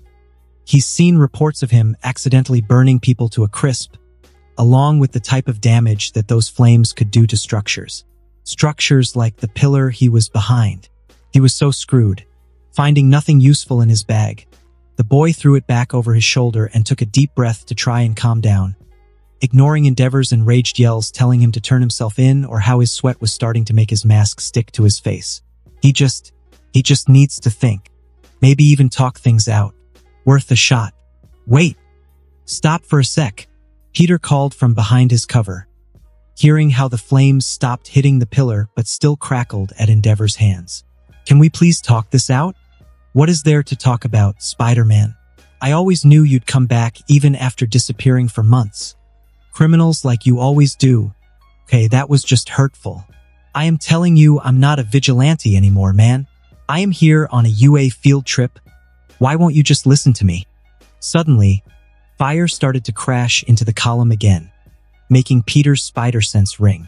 I do not need to listen to you. I am a hero, Apprehending villains like you is what I do. Was it just him, or was he hamming it up? Given how the fire wasn't stopping, he guessed talking it out was out of the question. The sounds of stone slowly cracking reached his ears. He was running out of time fast. What does he even do? Fighting was out of the picture. That would most likely be a death sentence or a near-death experience at best. And even if he won, then what? Just walk outside after beating him? If anything, the guy would probably make his life horrible and blacklist him from any hero school. Wait, what if he called for help? Not his friends or May, they wouldn't be able to help. Aizawa. Fishing his phone out of a pouch on his belt, Peter found Aizawa's name on speed dial and called. Oh, please pick up. Not even waiting for the first ring, Aizawa immediately picked up the phone, making Peter thank whatever deity there was above. Parker, where the hell are you? You ran back in there without my permission. You better have a damn explanation as to why you're not out here and why I shouldn't expel you. The man barked over on his end of the call, sounding absolutely furious. Alright, Peter would have to worry about all of that later. Aizawa, dude, I'm sorry for just going in here, but there was this guy that we missed holding a girl hostage. But I got her. Stone kept cracking behind him, Peter's breathing beginning to become more and more frantic. What the hell is that sound? Are there still villains? Endeavor should be in there. Now why aren't you out yet? A part of Peter told him Aizawa's response wasn't to be pretty. Uh, it kinda is Endeavor. All the villains are knocked out. Peter was met with silence on the other line. The only sound being fire being shot at him and Endeavor cursing him out. Excuse me? He showed up after I got the last guy, recognized I'm Spider-Man, started to attack me after assuming I was working with the guys doing the best, and now I'm hiding behind a pillar trying not to get burned to death. What? Tell him you're a UA student caught in the attack. Aizawa ordered from his end. Peter could faintly hear his friends asking him what was going on. I did. He called me a liar and kept trying to attack me. Man, please tell me you got a plan cause I'm freaking out over here and really don't want to die. There was a pause, Aizawa cursing out loud before he finally responded. If he is still unjustly attacking you, shit, just stay put and keep trying to convince him. There are 15 of his sidekicks guarding all entries into the building, but I'll try to go in there. Stay put? That was the plan? He was so gonna die today. Even if he does die, what a lame way to go out. Unjustly killed by the number two hero? Some random kid that had the consequences of his past catch up to him? Hey, if I die here, can you please take care of my aunt for me? Also, Aizawa just tells her I love her and thanks for giving me a second shot at the hero gig and for just being there. Peter said quietly into the phone, not waiting for a response before hanging up. Backed into a corner, Peter had run out of any safe option. He had to fight Endeavor. Even if he really does bite it in here, he gets to see Ben again. Now, was he scared right now? Of the high possibility of the number two hero killing him. Absolutely, Peter was freaking terrified. This wasn't a thing where he'd go down fighting to save a city or even one person. This was just for him. The only incentive Peter had for winning was his own life, not even the motivation of trying to protect a civilian. But was he still going to go ahead with it? Give it his all? Yeah. He was. Taking a deep breath, Peter's lenses narrowed on the weird gauntlet that he had taken off the criminal before he shot a web that connected to it and pulled it into his hand. He looked down, sending an apologetic look to the webbed-up man at his feet that had been freaking out the entire time, with Peter not hearing him given how his mouth was webbed up and all. I'll need to borrow this for a sec. Hope you have spares, Peter said, watching the guy think about what he said and nod. Uh, now that he thought about it, this guy was probably rooting for him. Also, I know you're a bad guy and all, but I'll keep you safe from number two over there. He tried to reassure the man, watching him send a thankful look his way. Even though this guy did take part in the heist that got Peter in this situation, he'd do his best to keep him safe from whatever was going to happen. After all, even criminals need protecting sometimes, you know? Alright, let's get this show on the road. Even though this guy did take part in the heist that got Peter in this situation, he'd do his best to keep him safe from whatever was going to happen. After all, even criminals need protecting sometimes, you know? Alright, let's get this show on the road. Gripping the gauntlet in his hand tightly, Peter aimed towards the ceiling before throwing the metal device from behind cover, making Endeavor start blasting it with fire instead of the pillar. Made ya look! Peter flipped from behind cover, shooting two webs that covered the hero's eyes and making him curse. The boy landed in a crouch, running toward the man and punching him in the face, accidentally touching his flaming beard. Alright, that wasn't part of the plan, but it did knock the guy down. But seriously, punching someone with a fire beard in the face really stung. Endeavor grabbed the webbing and ripped it off of his eyes, burning it in his hand and shooting another beam of fire at Peter. Your status has been more than confirmed. Boy, attacking a hero is enough reason alone for me to take you down. Peter flipped behind a random wall that was holding up a painting, letting out a scoff. What? You attacked me. You know, for all this power you have you sure aren't too responsible. His lenses landed on that samurai helmet from earlier laying next to him on the ground, the boy attaching a web line to it, gripping it right. Might as well use some of the things lying around. Besides, he could probably just blame the damage on Endeavor. The masked teen jumped out from behind the wall, swung the helmet by the web line stuck to it like makeshift mace before running at the red-haired man. Spider sense ringing, Peter had barely enough time to dodge a volley of small fireballs that were shot at him, with a few gracing his body, which hurt and burned. It was just not pleasant. With a jump, Peter leaped up above the hero and swung the makeshift mace down at him. Endeavor somehow saw the attack coming and used jets of fire at his feet to dodge, swinging up a kick that hit Peter in the gut while he was in the air and couldn't dodge, sending him up into the air before blasting him with a torrent of fire. His entire body was surrounded by the biggest amount of heat he has ever felt. Peter screamed in pain as the skin exposed by his torn costume burned. It felt like someone had picked him up and dropped him into the sun, punched him in the face, then dropped him into a whole other sun. All in all, he was in just so much pain. Maybe this is where he bites it, huh? Falling back down, Peter gained his bearings and did his best to use the adrenaline flowing through his veins to ignore the burning and aching in his skin, twisting in midair to avoid Endeavor punching him again. Using the floor as a springboard, Peter backflipped back behind a stone pillar to try and catch his breath. He barely had it in him to make a joke. He felt as if every drop of water in his body had evaporated from the heat. Opening his tired eyes, he could see a few places in the museum had started to catch fire, random paintings and artifacts starting to go up in flames. You know, maybe the reason you're not number one is because you do this to people. He laughed lightly, taking another moment to breathe. What did you say? Torrent after torrent of flame hit the pillar over and over again, making Peter brace against the heat that was so near his burnt skin. Maybe he should have stayed quiet. It just hurt to talk, he didn't know if it was the burns or what. It just hurt. Might as well keep the show going. Quickly reloading his web shooters, Peter dug into one of the pouches in his belt and pulled out a small red and silver disc, his new web grenade design.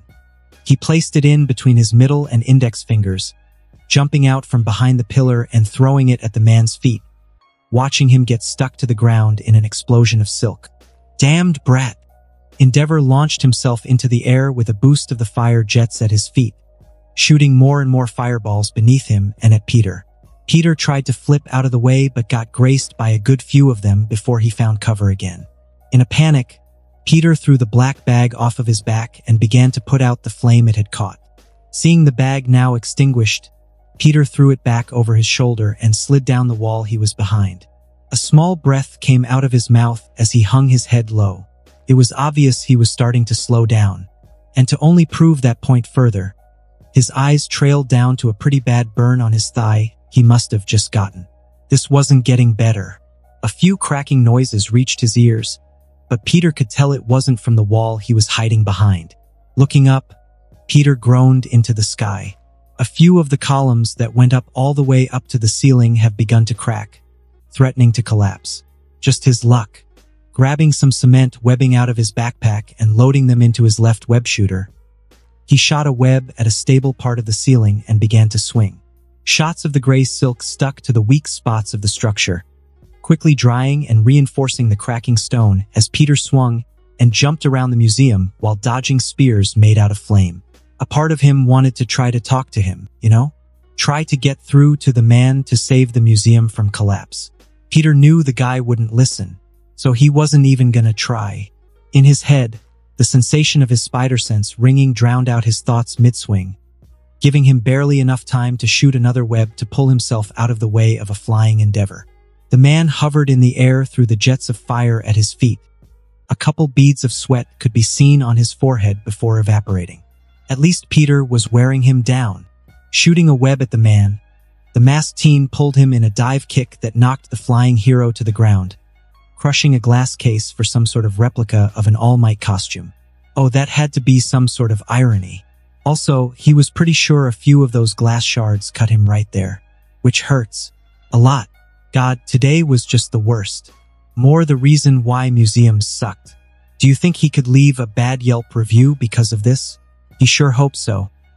His eyes widened at the vibration at the back of his skull the sensation giving him enough time to backflip off of Endeavor before he could be engulfed in a pillar of fire. He landed in a crouch, trying hard to think of what to do.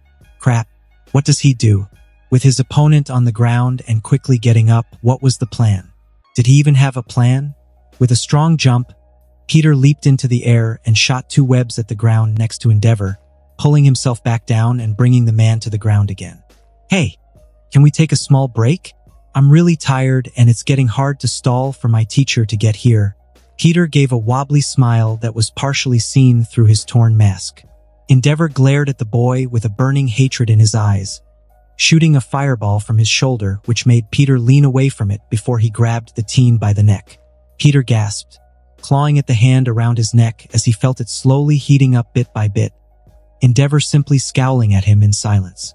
Quickly, the heat became unbearable, making Peter scream in pain and start to thrash around. The man simply tightened his grip. God, did this hurt? Desperate, Peter began to kick his opponent in the ribs with as much strength as he could use without actually killing him, making him drop the boy to the ground with a groan of pain. As he laid there, looking up at Endeavor holding his side as his scowl grew, Peter could only sigh and stare at the ceiling. Anyone ever tell you that the fire beard makes you look dumb? He coughed, feeling his lungs and muscles burn. He was just so damn tired. As he laid there, looking up at Endeavor holding his side as his scowl grew, Peter could only sigh and stare at the ceiling.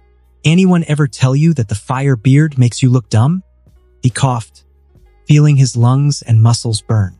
He was just so damn tired. Even so, he wasn't finished. His lenses looked around his general area, passing over knocked over and destroyed artifacts and paintings, small fires that were slowly growing larger and larger, and the pile of still unconscious villains he had webbed to the ground before he found something. It looked like a pretty good replica of Captain America's shields simply lying on top of random rubble and debris. Might be useful. At least he hopes it will be. Because if you hadn't noticed, Peter had run out of options a bit ago. Quickly, Peter shot a web line that connected to the red, white, and blue shield, yanking on it and hitting Endeavor in the head with it. The loud clang echoed across the museum as the man stumbled backward while holding the spot the shield had hit, with Peter simply pulling the shield into his arm. Alright, hopefully this stuff was made out of some vibranium. That stuff would be so useful to have right now. He threw the shield at a relatively intact wall next to Endeavor, making it bounce off of it before hitting the man in the chest and bouncing back into Peter's hand.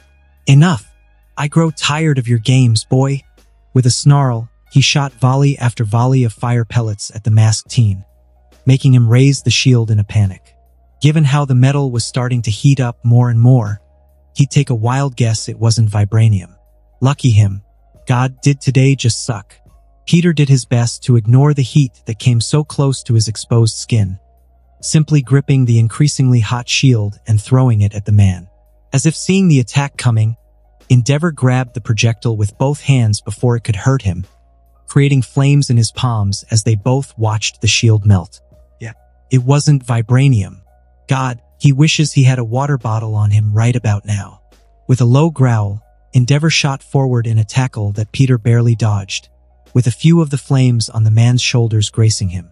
He shot a web at the man's back, with the hero turning around far quicker than Peter expected him to and grabbing the line, making it catch fire. Crap. I gotta ask, what's the plan? You're just gonna beat me up more? At this point, I feel like you're not even trying to arrest me anymore. A few of the flames on his face flickered and crackled in unison to the ones that burned around them in the museum. Endeavor only glared. Perhaps it would be best if I took you off the streets entirely, villain. Uh, that confirms it. He was probably gonna die today. Huh? Shit. His spider sense rang, allowing him to backflip away from another flame booster charge from his opponent with him almost dodging the attack until his ankle was grabbed. That wasn't good. With a boost from a jet of fire coming from his elbow, Endeavor spun Peter around by the ankle until finally slamming him down onto the ground, cracking the floor. Ow. His vision was starting to go blurry, and it was obvious that breathing would only be getting harder and harder to do as this fight went on. Man, could he even call it a fight? It has basically been him getting slapped around for Crap, how long has this been going on? He just wanted to take a nap. The burns on his skin continued to sting and ache as he lay there, looking up at the hero he had just fought. It hurt, all things considered. If anything, a couple of them might be third-degree burns now that he thought about it. Even then, the burns weren't his only problem. His muscles had been screaming in agony and pain during this entire time, begging him to just stop fighting and lie down. And if that wasn't enough for him, his bones were probably in a lot more pain right about now. He guessed he had at least a few fractures right now.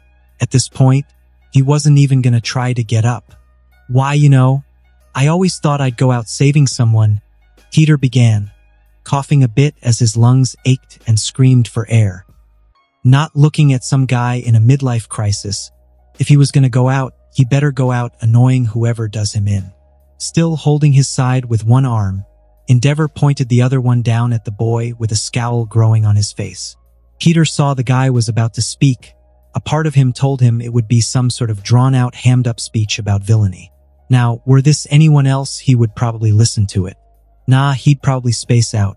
But right now, he could barely keep his eyes open. And you could bet that Peter would not use the last bit of his strength listening to that stuff. Not for Endeavor, at least because right now, Peter was just tired not angry at how he'll die young, not sad at how he won't be able to help more people. Not anything like that, no. He was just tired.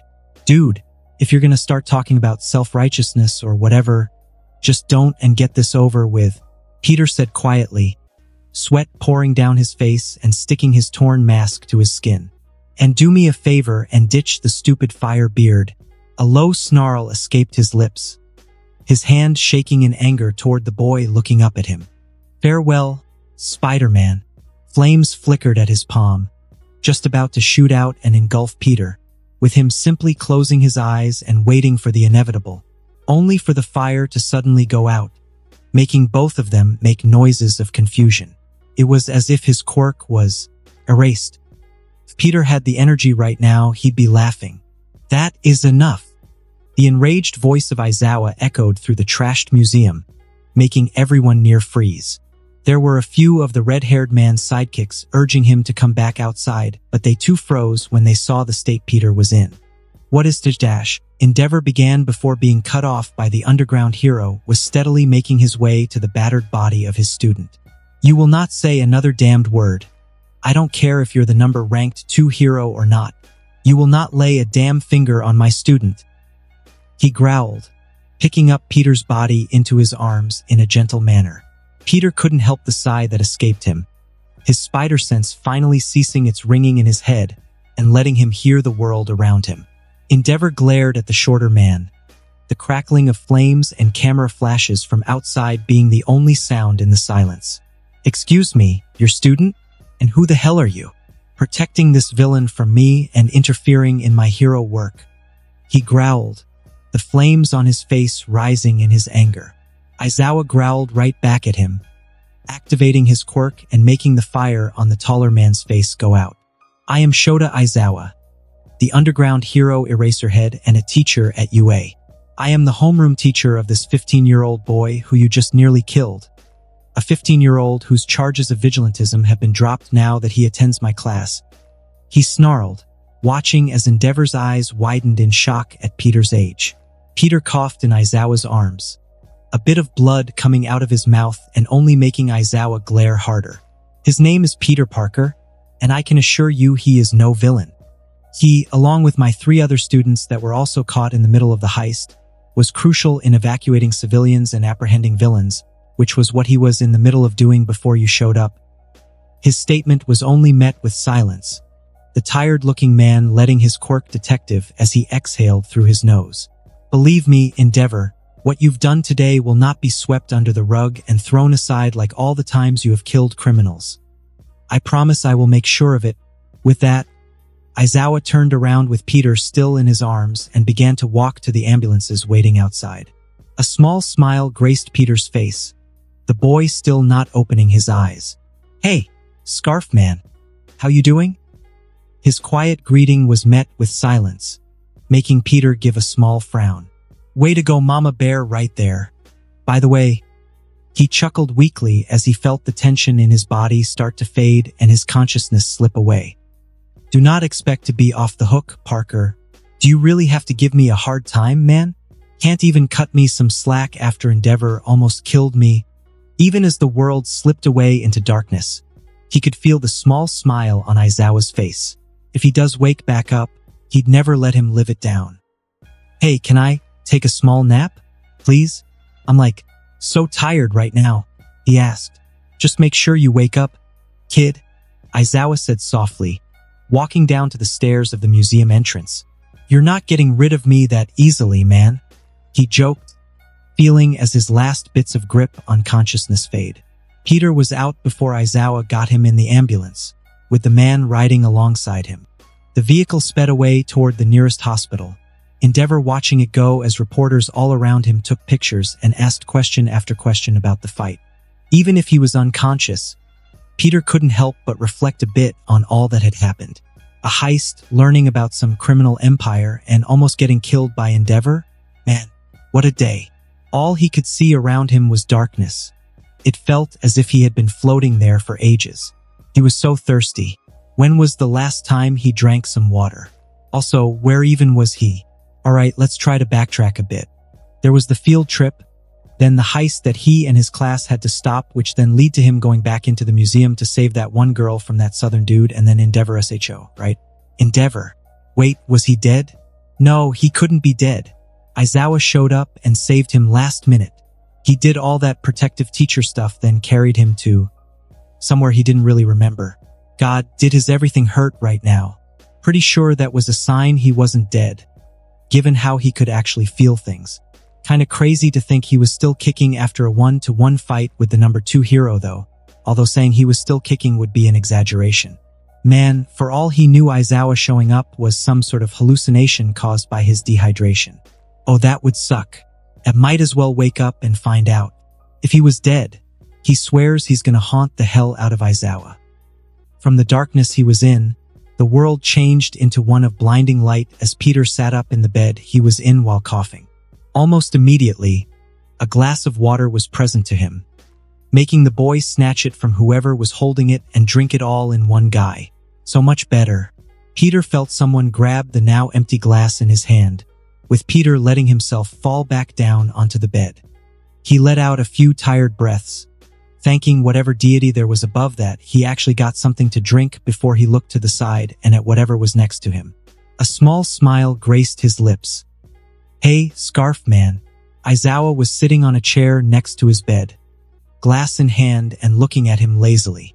Glad you're awake, kid, the man told him, getting up and putting the glass on a nearby table before sitting back down and lacing his hands together.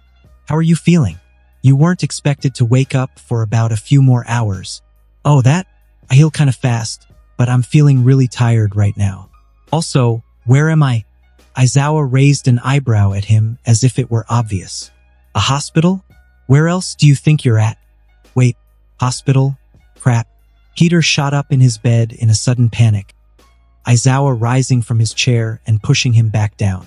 You put me in a hospital? I can't afford that. Man, Dude, I would have healed just fine overnight. How am I supposed to pay for this stuff? Hearing this, Aizawa sighed and pinched the bridge of his nose in frustration before letting go of his student. Parker, you're in Japan. As in you have free health care and don't need to pay for hospital bills. Oh yeah, man. He forgot about that stuff. Sure came in handy. Oh right. Yeah, I uh, knew that. Of course I did.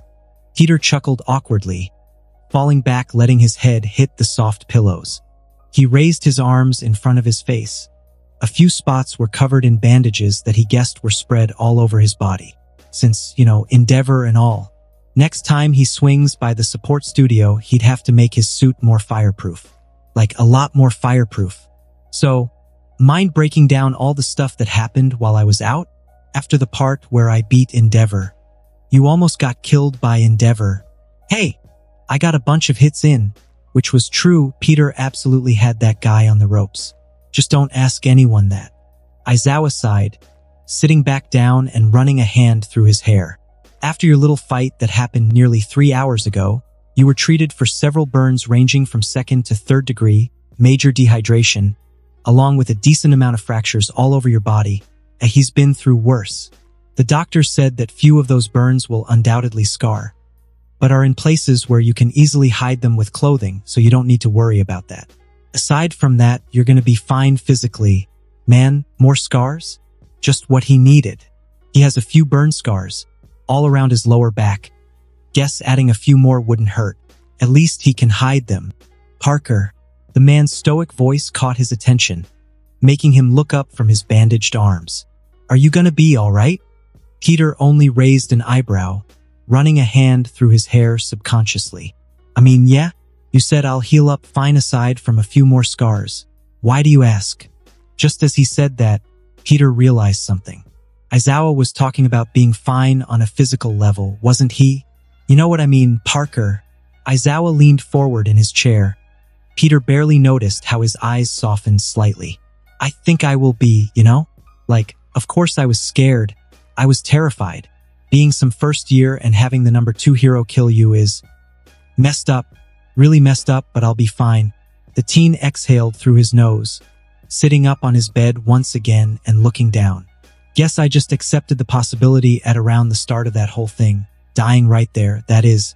But it all turned out fine so. Does it really matter? I'll take some time later to think about it. The hospital room was silent for a moment. Aizawa sighing and sitting back. Do you want to talk about it? I dash, Peter began before stopping himself, thinking the question over quickly before sending a small smile at his teacher. No, not right now at least. Aizawa looked at him for a moment before nodding, letting the room fall back into peaceful silence. Suddenly, his spider sense buzzed softly at the back of his skull, making him look toward the door to the room which then made his teacher do the same out of curiosity. Right on cue, the door slid open and revealed a green-eyed woman with brown hair that was around her early 40s. She looked frantic when she first appeared before calming down. May Parker. Way faster than Peter thought his aunt could move, one second she was at the door and the other she was at his bedside with her arms wrapped around him. Hey, May. Peter greeted, hugging her back. You alright? May pulled back and started to run a hand through his messy hair. Peter could see a few small tears in her eyes. Alright? Peter, your school called me saying there was a heist at the museum your class was visiting and that then Endeavor nearly killed you. No, I'm not alright. Oh, I'm just Dash, cutting herself off. May began to hug her nephew once again, but a tiny bit tighter. Peter didn't protest. He knew May needed this right now. Besides, he needed it too. A few minutes passed with May checking over her nephew as if to reassure herself he was still there, with Peter simply holding her until she calmed down. Clearing his throat, Aizawa brought both Parker's attention to himself as he stood up from his chair. Mrs. Parker, I am Shota Aizawa Dash, he began offering a handshake before being cut off. Oh, I know who you are. May smiled sweetly at the man and shook his hand. Peter always tells me about you. You're that underground hero, right? His homeroom teacher. The man in front of her paused for a moment, looking over at Peter before nodding. You wouldn't believe how much he looks up to you. Every time he called to tell me about his day, he would always mention you a dozen times. It is a pleasure to meet you, Aizawa. I can't thank you enough for what you've done for my nephew. He wouldn't be where he is today if it weren't for you. If there was a moment that Peter wished that Endeavor had actually killed him, it would be this one. May, don't tell him that stuff. That ruins our whole dynamic. Peter protested, only earning a laugh from his aunt while Aizawa held a look that said he was unsure as to what to do. Seriously, why would she say that? Their whole thing was that Peter annoyed Aizawa, but they secretly liked each other to a point. You can't just say that it ruins it. Aizawa took another moment before ending the handshake and clearing his throat, changing the subject to bring them back on track. As I was saying dash, suddenly, Aizawa took a step back and bowed low in front of the woman, making both Americans raise an eyebrow. I want to deeply apologize for letting Parker get injured under my watch. I would like to take responsibility and blame for what occurred today. I dash. He was about to keep going before being cut off by the woman in front of him, while Peter simply watched on in astonishment. Never in his life has he heard Aizawa actually apologize for anything now that he thought about it. Made him look as if he actually had moods outside of annoyed and tired with the occasional grumpy. Oh, please don't do that. May began, making the man stand up straight again as to meet her eye. I can't blame you for things out of your control. It was a case of wrong place, wrong time. And besides, May looked over at Peter with a small, fond smile on her face and soft eyes Peter could see through her glasses while she turned the golden ring on her finger with her hand. That was the ring Ben gave her. Peter wants to help people just like his uncle would have wanted, and from what the principal told me, he did just that. Being a hero is a dangerous job, no matter how much I wish it wasn't. But that's what Peter wants to do in his life. Holding you accountable for him getting hurt while helping others isn't what he'd want, so I won't. Peter wants to help people just like his uncle would have wanted. And from what the principal told me, he did just that. Being a hero is a dangerous job, no matter how much I wish it wasn't. But that's what Peter wants to do in his life. Holding you accountable for him getting hurt while helping others isn't what he'd want. So I won't. Oh, that was probably one of the most profound things he's ever heard. Man, he's forgotten how wise May was since they've been apart so long. Suddenly, his aunt gained a look of pure disdain in her eyes, looking over Peter's injuries once more before meeting Aizawa's eyes. Endeavor is the only one I hold responsible for what happened today. That man nearly and wrongfully killed my nephew in Dash. Her hands were balled in shaking fists, Peter putting a hand on her shoulder as to calm her. I just hope he faces consequences. Wait, what was going to happen with Endeavor? It's not like they could sue him since they didn't have enough money for that, so taking legal action directly was out of the question. The guy had to be facing at least a bit of backlash, right? I mean, he attacked a teenager only because he used to be a vigilante. The hold up.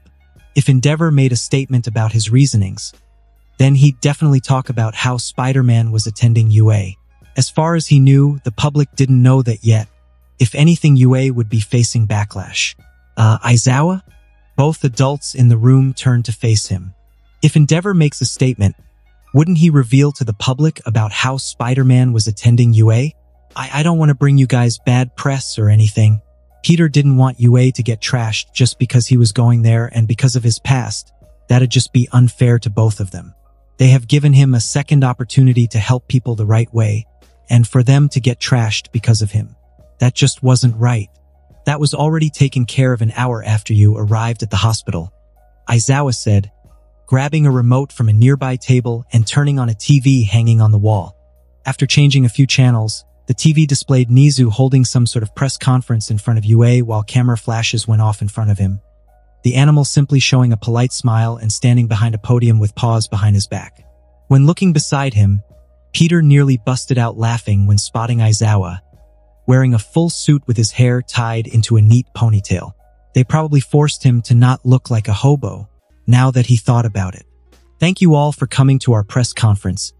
We will be discussing today's events of the number two hero, Endeavor, wrongfully attacking and nearly killing one of our first-year hero course students.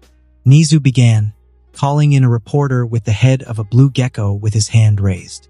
Nezu, reports say that Endeavor attacked the student due to him believing that he was the vigilante known as Spider-Man and that he was working with the villains conducting the heist. Is it true that Spider-Man attends UA? Not missing a beat, Nezu simply smiled and nodded his head. While we will not disclose his identity, given he is underage, we will confirm that he does attend our first year hero course as a deal made with both us and the police to make up for his crimes of vigilantism and to get the charges dropped. Just like that, Peter watched as every single reporter presented erupted out of their seats, demanding answers to each of their individual questions. You didn't tell them who I was? Peter asked Aizawa, the man only shaking his head. You're a minor. We aren't legally allowed to do so without your permission. And I doubt it's in your best interest to announce to the world who you are right now, Peter could only sigh in relief that his identity was still intact and mutter out a thank you. He didn't want to deal with all of that anytime soon. Just the idea of being recognized as Spider-Man while walking down the street made him uncomfortable. You know? A few moments passed before Nezu called on another reporter. This one simply having a high ponytail. Nezu, do you truly believe that this former vigilante should be given a second chance? ID dash before she could even finish her question. The white-furred animal quickly cut her off without even dropping the polite smile he had. He was and still is a young man in need of guidance who wants to help people. And we at UA pride ourselves in giving that guidance to aspiring heroes of all backgrounds. I myself believe he did less harm than he did good, with most dismissing his good deeds on the simple basis of the circumstances they were done. His heart warmed at someone defending him the only times anyone ever defended Spider-Man was in the occasional online forums that talked about him from time to time. It felt nice, you know? Having someone believe that what he does is good was probably the most he could ask for. Seemingly not done, Nezu placed both paws on the podium and continued his statement. Not only that, but he along with his three other classmates that were at the museum during the heist helped their teacher apprehend villains and rescue civilians, most likely preventing many injuries. The conference was silent for a moment bar the sound of camera flashes before people collectively started to ask questions again. Nezu decided to call on a woman with red lines going across her face that contrasted her sky blue hair. Excuse me, but how will you respond to Endeavor? He has been unavailable for comment ever since the incident. So we would like to see what you have to say about him. Peter almost missed it, but he clearly saw Nezu's eye twitch for a split second, making the scar going down its scrunch up for a moment. Clearing his throat, Nezu waited for the room to fall into relative silence before speaking. Even through the screen, Peter could still feel Nezu's disdain that was hidden behind those beady eyes and polite smile. I, along with UA's teaching staff, are deeply disappointed and incredibly disgusted that one of our former alumni could have been involved in an incident in which he would nearly kill a 15-year-old. We will not be accepting recommendations for students from him from this point on, and I would like to offer my apologies to the family of the student he attacked. Thank you for coming today.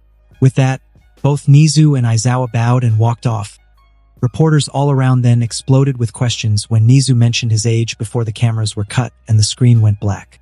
Peter looked at his election on the black TV screen before finally breaking his silence. Just like that?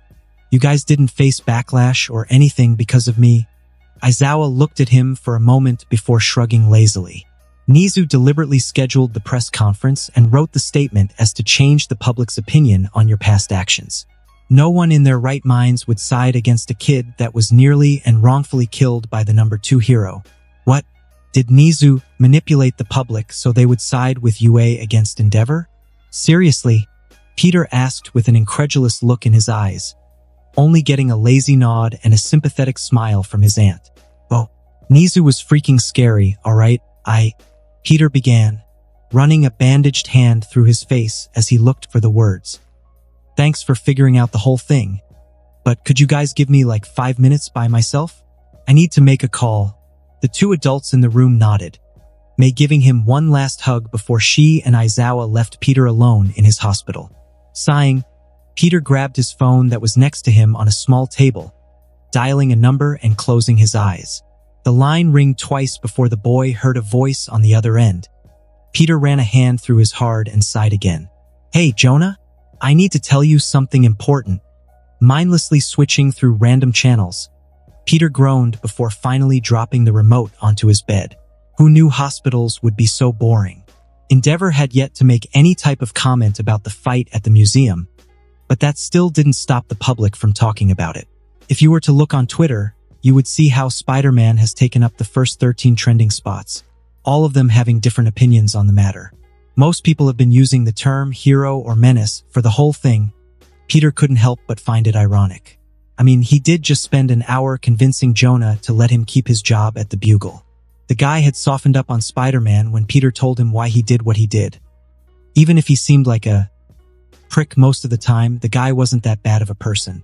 Opinions were split 80-20 for and against him, with people defending him given his age and how he was, turning over a new leaf, while supports of Endeavor had criticized him for resisting arrest and not explaining himself to him well, that was until the video of the fight got out. Now, at first, Peter had assumed this whole thing would just be two different people saying two different things with not much proof against each other, you know? So imagine his face when someone has apparently leaked a video of inside the museum. And then imagine his face again when that person turned out to be the girl he saved from the shocker guy. Talk about convenient. Huh? Yeah, when people saw how things had actually gone down inside the museum, with Peter attempting to explain himself and only getting burnt in return, opinions changed a lot more. As in, it was now 95 to 5 for and against him. Still, Endeavor still had his supporters for whatever reason, but the general consensus was that he was in the wrong for, you know, nearly killing him and all of that stuff. Peter guessed the only people actually citing what Endeavor on this were doing it solely for the fact that the guy was the number two hero. Believe it or not, there were a bunch of people out there who legitimately thought the top heroes could do no wrong. It was scary to see people actually thinking that. Even then, It made him uncomfortable seeing people analyze the video as if it was some celebrity drama instead of him fighting for his life. But that was the hero world, you know? Gave him all the more reason to keep his regular life private when he got a license. Letting himself fall back onto the bed, Peter continued to aimlessly scroll through random news feeds. Looked like the heist had taken a back seat to the fight when it came to public attention. Peter didn't like that. Crap. He forgot to tell Aizawa about the big man. Damn it, he'd have to do it tomorrow. Looked like the heist had taken a back seat to the fight when it came to public attention. Peter didn't like that. Crap. He forgot to tell Aizawa about the big man. Damn it, he'd have to do it tomorrow. Just as Peter was about to turn off the TV, his spider senses buzzed again and made him look towards the door that led to his room. Aizawa said something about having a meeting with Nezu and May had to leave quickly to run errands but would come back as soon as possible. The door burst open, revealing Nejire, Togata, and Amajiki wearing casual clothes. Wait, did school get cancelled for them? No one told him that. Peter, Togata and Nejire yelled simultaneously, running from the door and enveloping in a hug, awkwardly standing by the door and playing with the sleeves of his white hoodie. Amajiki jogged and joined in on the hug. Huh, that was kinda unexpected. But it was nice. Who knew group hugs were like this? And painful, maybe group hugs weren't a good idea when you have burns all over your body. Hey guys, this is really nice and all but could you let go? I'm kinda in a lot of pain right now Peter laughed with a wince, hugging back for a moment before his friends let go. Nejire was wearing a blue shirt with some cargo shorts. Amajiki wore a plain white hoodie and jeans while Togata wore an awful Hawaiian shirt with cargo pants. Seriously, that shirt looked horrible. And he'd tell him later. So, how do I look? Peter asked, showcasing his bandaged arms. Like why you just fought Endeavor. Amajiki said, getting nods from both Nejire and Togata. Like I just beat Endeavor. Nejire deadpanned at him, pulling out her phone and playing a clip of him getting slammed into the ground. Yikes, that looked bad. Whatever, how are you guys? Peter leaned forward in the bed, watching as Nejire began to flail her arms around. We were worried. You nearly got killed and stuff after we stopped the heist. It was crazy. Wait, have you seen the statement Endeavor did? Ahi Dash, the girl began to ramble on and on about the public backlash that Endeavor was getting or something like that, Peter having tuned her out quickly. Besides, he could barely make out what she was saying. Wait, when did Endeavor even make a statement? Togata stood by and watched as Nejire rambled on and on about something entirely different than before. Peter wasn't even sure what it was, before grabbing the remote on the bed and changing the channel. From a news report about some fight that Mirko had, the TV changed to Endeavor along with people that didn't seem like heroes wearing suits in a conference room while camera flashes went off. It happened like half an hour ago. Did you not know? We didn't watch it yet, cause we wanted to be there with you and all. Togata said. Amajiki nudged Nejire and got her back on track. Hold up, they didn't watch it because they wanted to he there with him during it? Ah, that was so sweet. Either way, he should get back on track. Half an hour ago? Man, Peter needed to get better at keeping up with the news. Wait, he should probably pay attention to what was going on. Endeavor, now sporting a black eye that Peter didn't even remember giving him, cleared his throat to gain the attention of the conference room. Before we begin, I would like to say that I still stand by my actions and find them justifiable. What? There was no way, right? There was absolutely no freaking way that Endeavor was going to start with that. No one would be so, Peter didn't even have the word for that. It was as if the guy was trying to be a walking PR disaster. I arrived at the museum in response to the heist that was being conducted, and I assumed that when the prolific vigilante known as Spider-Man was on the scene that he was collaborating with the villains. I attempted to apprehend him peacefully, but he refused, so I had to escalate the situation. While I did not know of his age, I still stand by what I did for it is a hero's job to apprehend threats to the public. The conference room was silent for a minute before people finally started to ask questions again, with the hero calling on someone with a reptilian-like face. Endeavor, in the video of the fight that a bystander took, it is clear that Spider-Man was trying to explain himself to you in an attempt to not have a physical altercation, attempts that you were shown to clearly disregard in favor of attacking this young man. What do you say to that? The reporter asked, pushing his glasses back. Silent for a moment, Endeavor scowled before answering. I disregarded his claims of being on a UA field trip since I believed that the staff of UA would be above allowing a lowly criminal to walk its prestigious halls. But I suppose that it has lost its values in recent times, for the UA I attended would never do such thing that clearly betrays everything it stands for. Lowly criminal? This guy was just trying to be hurtful at this point. Also, did he really pull a back in my day? Peter had expected many types of responses from him, but that wasn't one of them. Maybe his joke about the midlife crisis during the fight wasn't too far off. Calling on another reporter, this one seemingly having a second set of eyes on her forehead. Endeavor exhaled through his nose in a sign of clear annoyance. Peter wholeheartedly believed that the guy didn't even want to be there at this point, as if the HPSC or his PR team forced him to do the conference.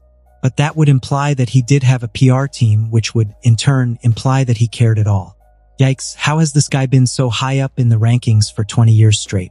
The woman sat up from her seat, displaying the pin on her shirt that said, Daily Bugle, before beginning.